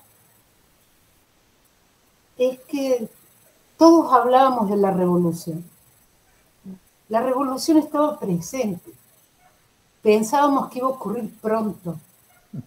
La diferencia era si hablábamos si iba a ser nacional y popular o social. Primero lo nacional, o sea, primero el cambio social, pero esa era la discusión. Yo me acuerdo de una discusión en el galpón de la sé que le decíamos también. Ese, ese pabellón ha recibido tantos nombres muy grandes. Este, en, el, eh, una, en el aniversario, en el 100 aniversario de la Comuna de París se hizo un acto. En el año 1971 se hizo un acto festejando el 100 aniversario de la Comuna de París. es muy impresionante eso, ¿no? Y eso, bueno, muy al poco tiempo, al poco tiempo, ocurrió una cosa horrible que fue la pérdida de los maestros, eh, las renuncias, las cesantías, o sea, por eso digo, muy intenso, este, y muy conmovedor recordarlo, ¿no? ¿Cómo no recordarlo a Irene Heber, al Goyo Germán? Discutíamos mucho. Y lo último que voy a decir a Alicia, no te enojes, por el... Hubo un invento docente maravilloso de esa época, que fue el seminario del sistema educativo argentino. Ese invento docente, que fue un invento transversal, de cátedras, de, distintos docentes ahí, eh, la idea era, si uno piensa en términos hoy de que se proponían, bueno, ¿qué querían que hiciéramos? Que viéramos em, me parece que, que, conquistáramos una mirada de conjunto del sistema en sus efectos este, eh, sociales y subjetivos a Entonces estudiábamos un montón de cosas. Eh, fue un invento hermosísimo eh, ese seminario y, y, la verdad que, que se extraña una, una, una cosa así compartida con los estudiantes y, con los docentes. Y la última cosa que les voy a decir es que nosotros queríamos ser como ellos. Eso. Nada más.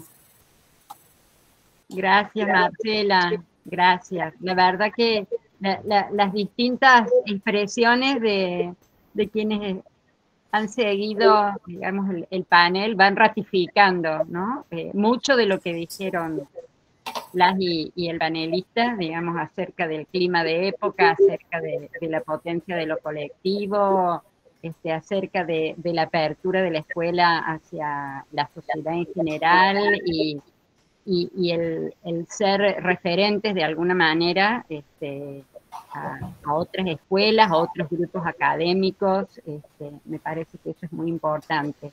No quisiera dejar de mencionar que aquí hay un mensaje en el chat que dice agradezco con mucha emoción cada una de las presentaciones realizadas de una querida egresada, Mirta Fascina, y también de un estudiante, Juliano Martelotto, agradecido.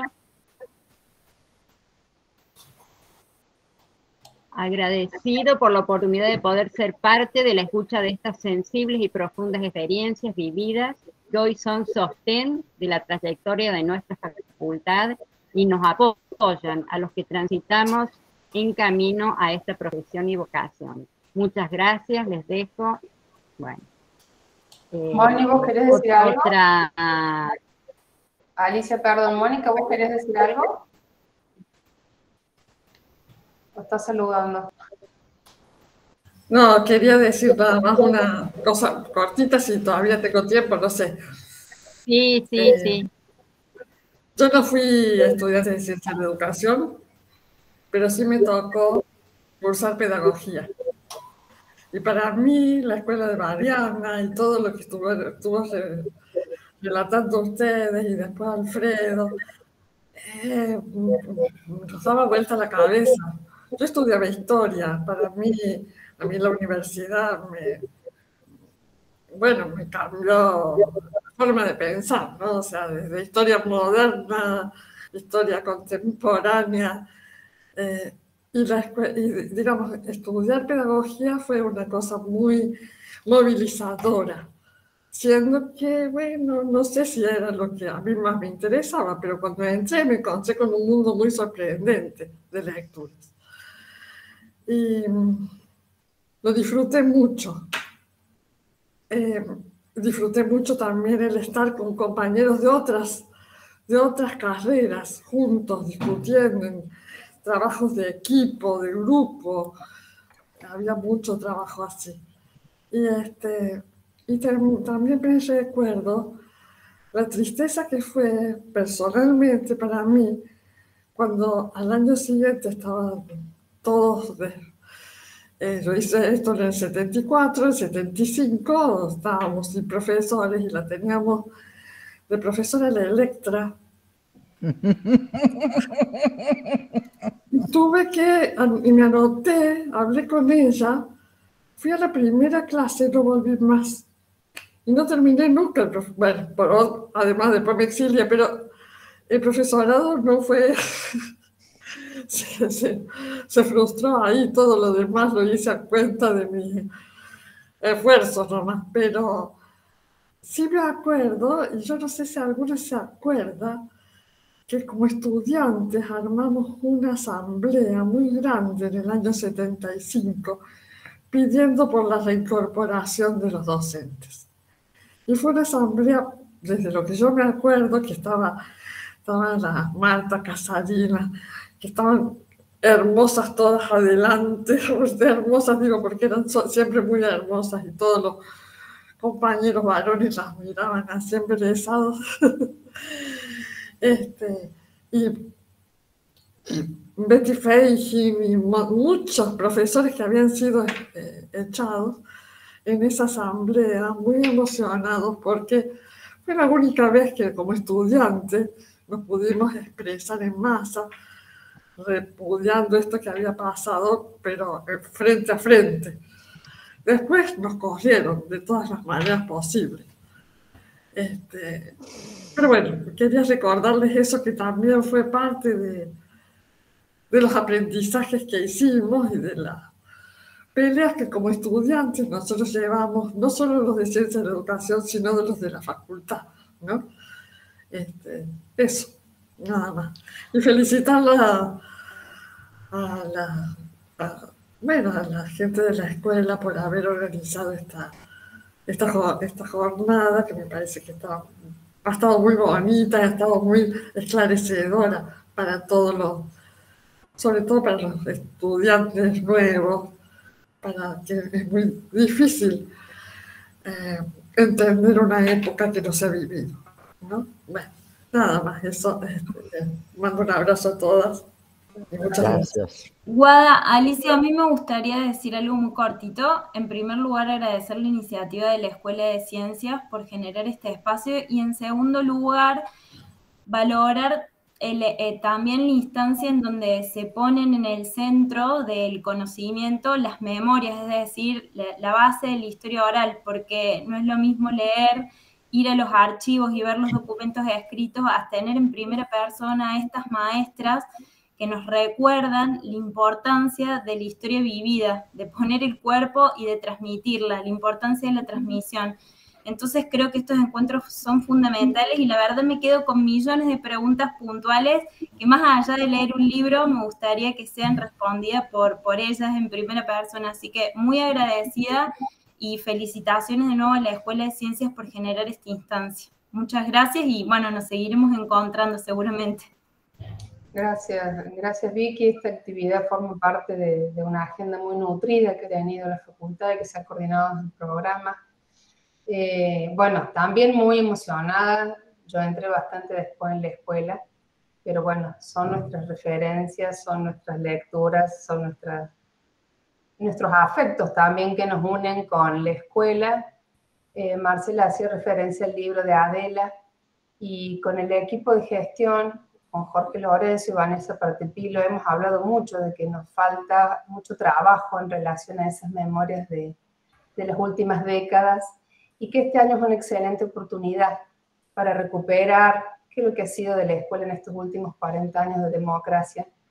Y esta parte de los 70 nos había quedado, bueno, por ahí con más preguntas que respuestas en relación a cómo, a cómo encararlo. Y creo que esta, esta alternativa que encontramos de la actividad de hoy, con los profes Santiago en el 75 y una actividad que tenemos mañana, donde vamos a juntar a estudiantes que hoy tenemos en la escuela con los estudiantes que transitaron la carrera en la dictadura este, del 76, nos va como a completar un panorama, ¿no? Eh, nosotros tenemos idea de que esto, bueno, se ha guardado, es un documento, es parte de esa construcción de memoria, eh, y también, bueno, la idea es que pueda circular, que pueda quedar a disposición para que la institución también se fortalezca, se pueda mirar a sí misma, se pueda reconocer. Hay muchas cosas que ustedes dijeron que nos van a hacer pensar necesariamente en las cosas que nosotros hacemos hoy como docentes, en, qué formamos, con qué compromisos, con qué categorías, con qué miradas, con qué anclaje en la realidad. Entonces eso creo que es muy valioso nos jugamos un tiempo muy difícil post pandemia. Este, la escuela ha cambiado mucho en algunas cosas, pero también estos espacios de, de, encuentro nos permiten reconocernos en cosas que encontramos como continuidad, unas continuidades eh, hermosas que nos fortalecen. Así que bueno, desde la dirección muy agradecidos a la participación, al esfuerzo que implica para ustedes este, preparar estos textos, recuperar esas vivencias, esas memorias, poder expresarlas. Yo sé que es muy difícil y, lo agradezco enormemente. No sé, Luna, si vos querías decir algo o había una manito. Sí, un poco más o menos lo que ya dijeron algunos compañeros, eh, que nosotros somos como de esta generación joven. Eh, nos cuesta dimensionar lo que fue esos momentos y que, bueno, eso, recalcar que es un honor realmente escuchar a gente que además lo vemos, los programas de todas las somos, eh, cuando te dicen contextualizar a los autores que lees, es un poco, bueno, escuchar estas vivencias que por ahí de otras formas no llegan. Eh, así que nada, solamente remarcar esa es muy importante y que nos hace crecer, aprender y realmente formarnos con, con esos textos que los tenemos acá en persona. Así que muchas, muchas gracias.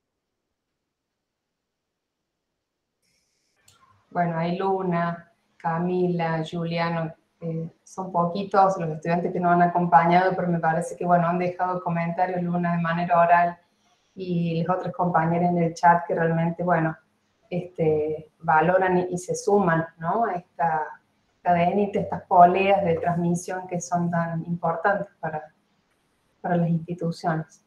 Este, así que, bueno, muy, muy agradecida y, y emocionada este, ya les estaremos molestando para que nos traigan esos textitos que escribieron y ver qué otras cosas podemos hacer con ellos, eh, tanto el de Susana, Alfredo, Gloria, eh, como bueno, los otros comentarios que aportaba Nora, Marcela, este, bueno, también Alicia, Nora Alterman, Mónica, este, Chela, muy agradecidas, sinceramente.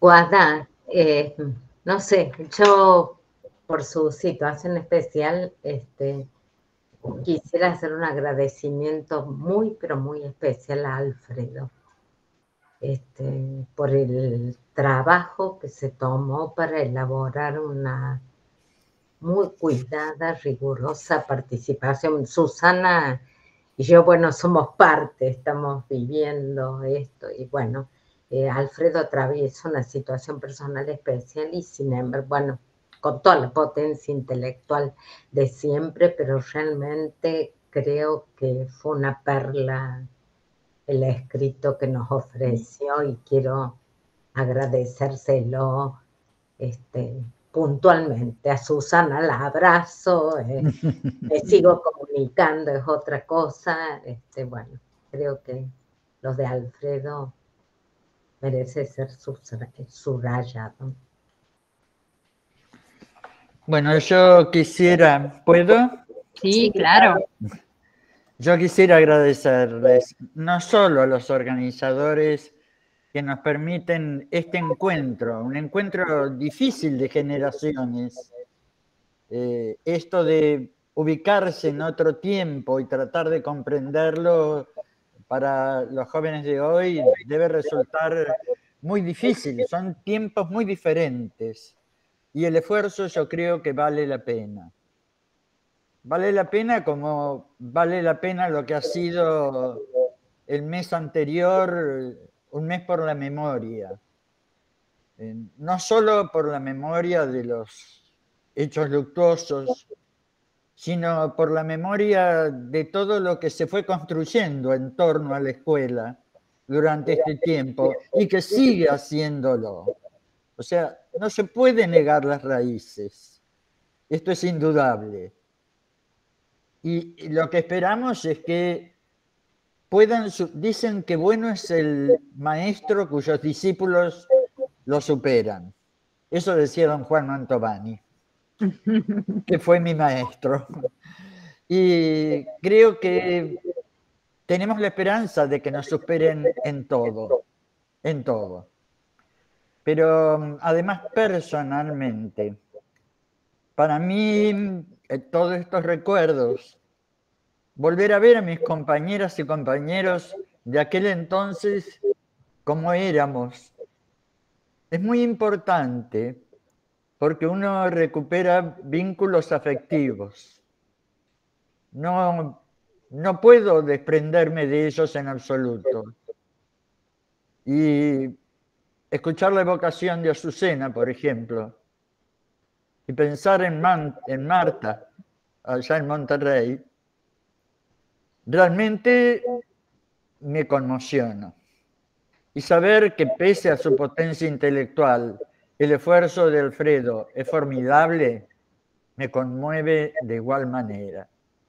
Les agradezco entonces por esta oportunidad y por la oportunidad que le dan a los que vienen. No, no volvemos al pasado para quedarnos ahí.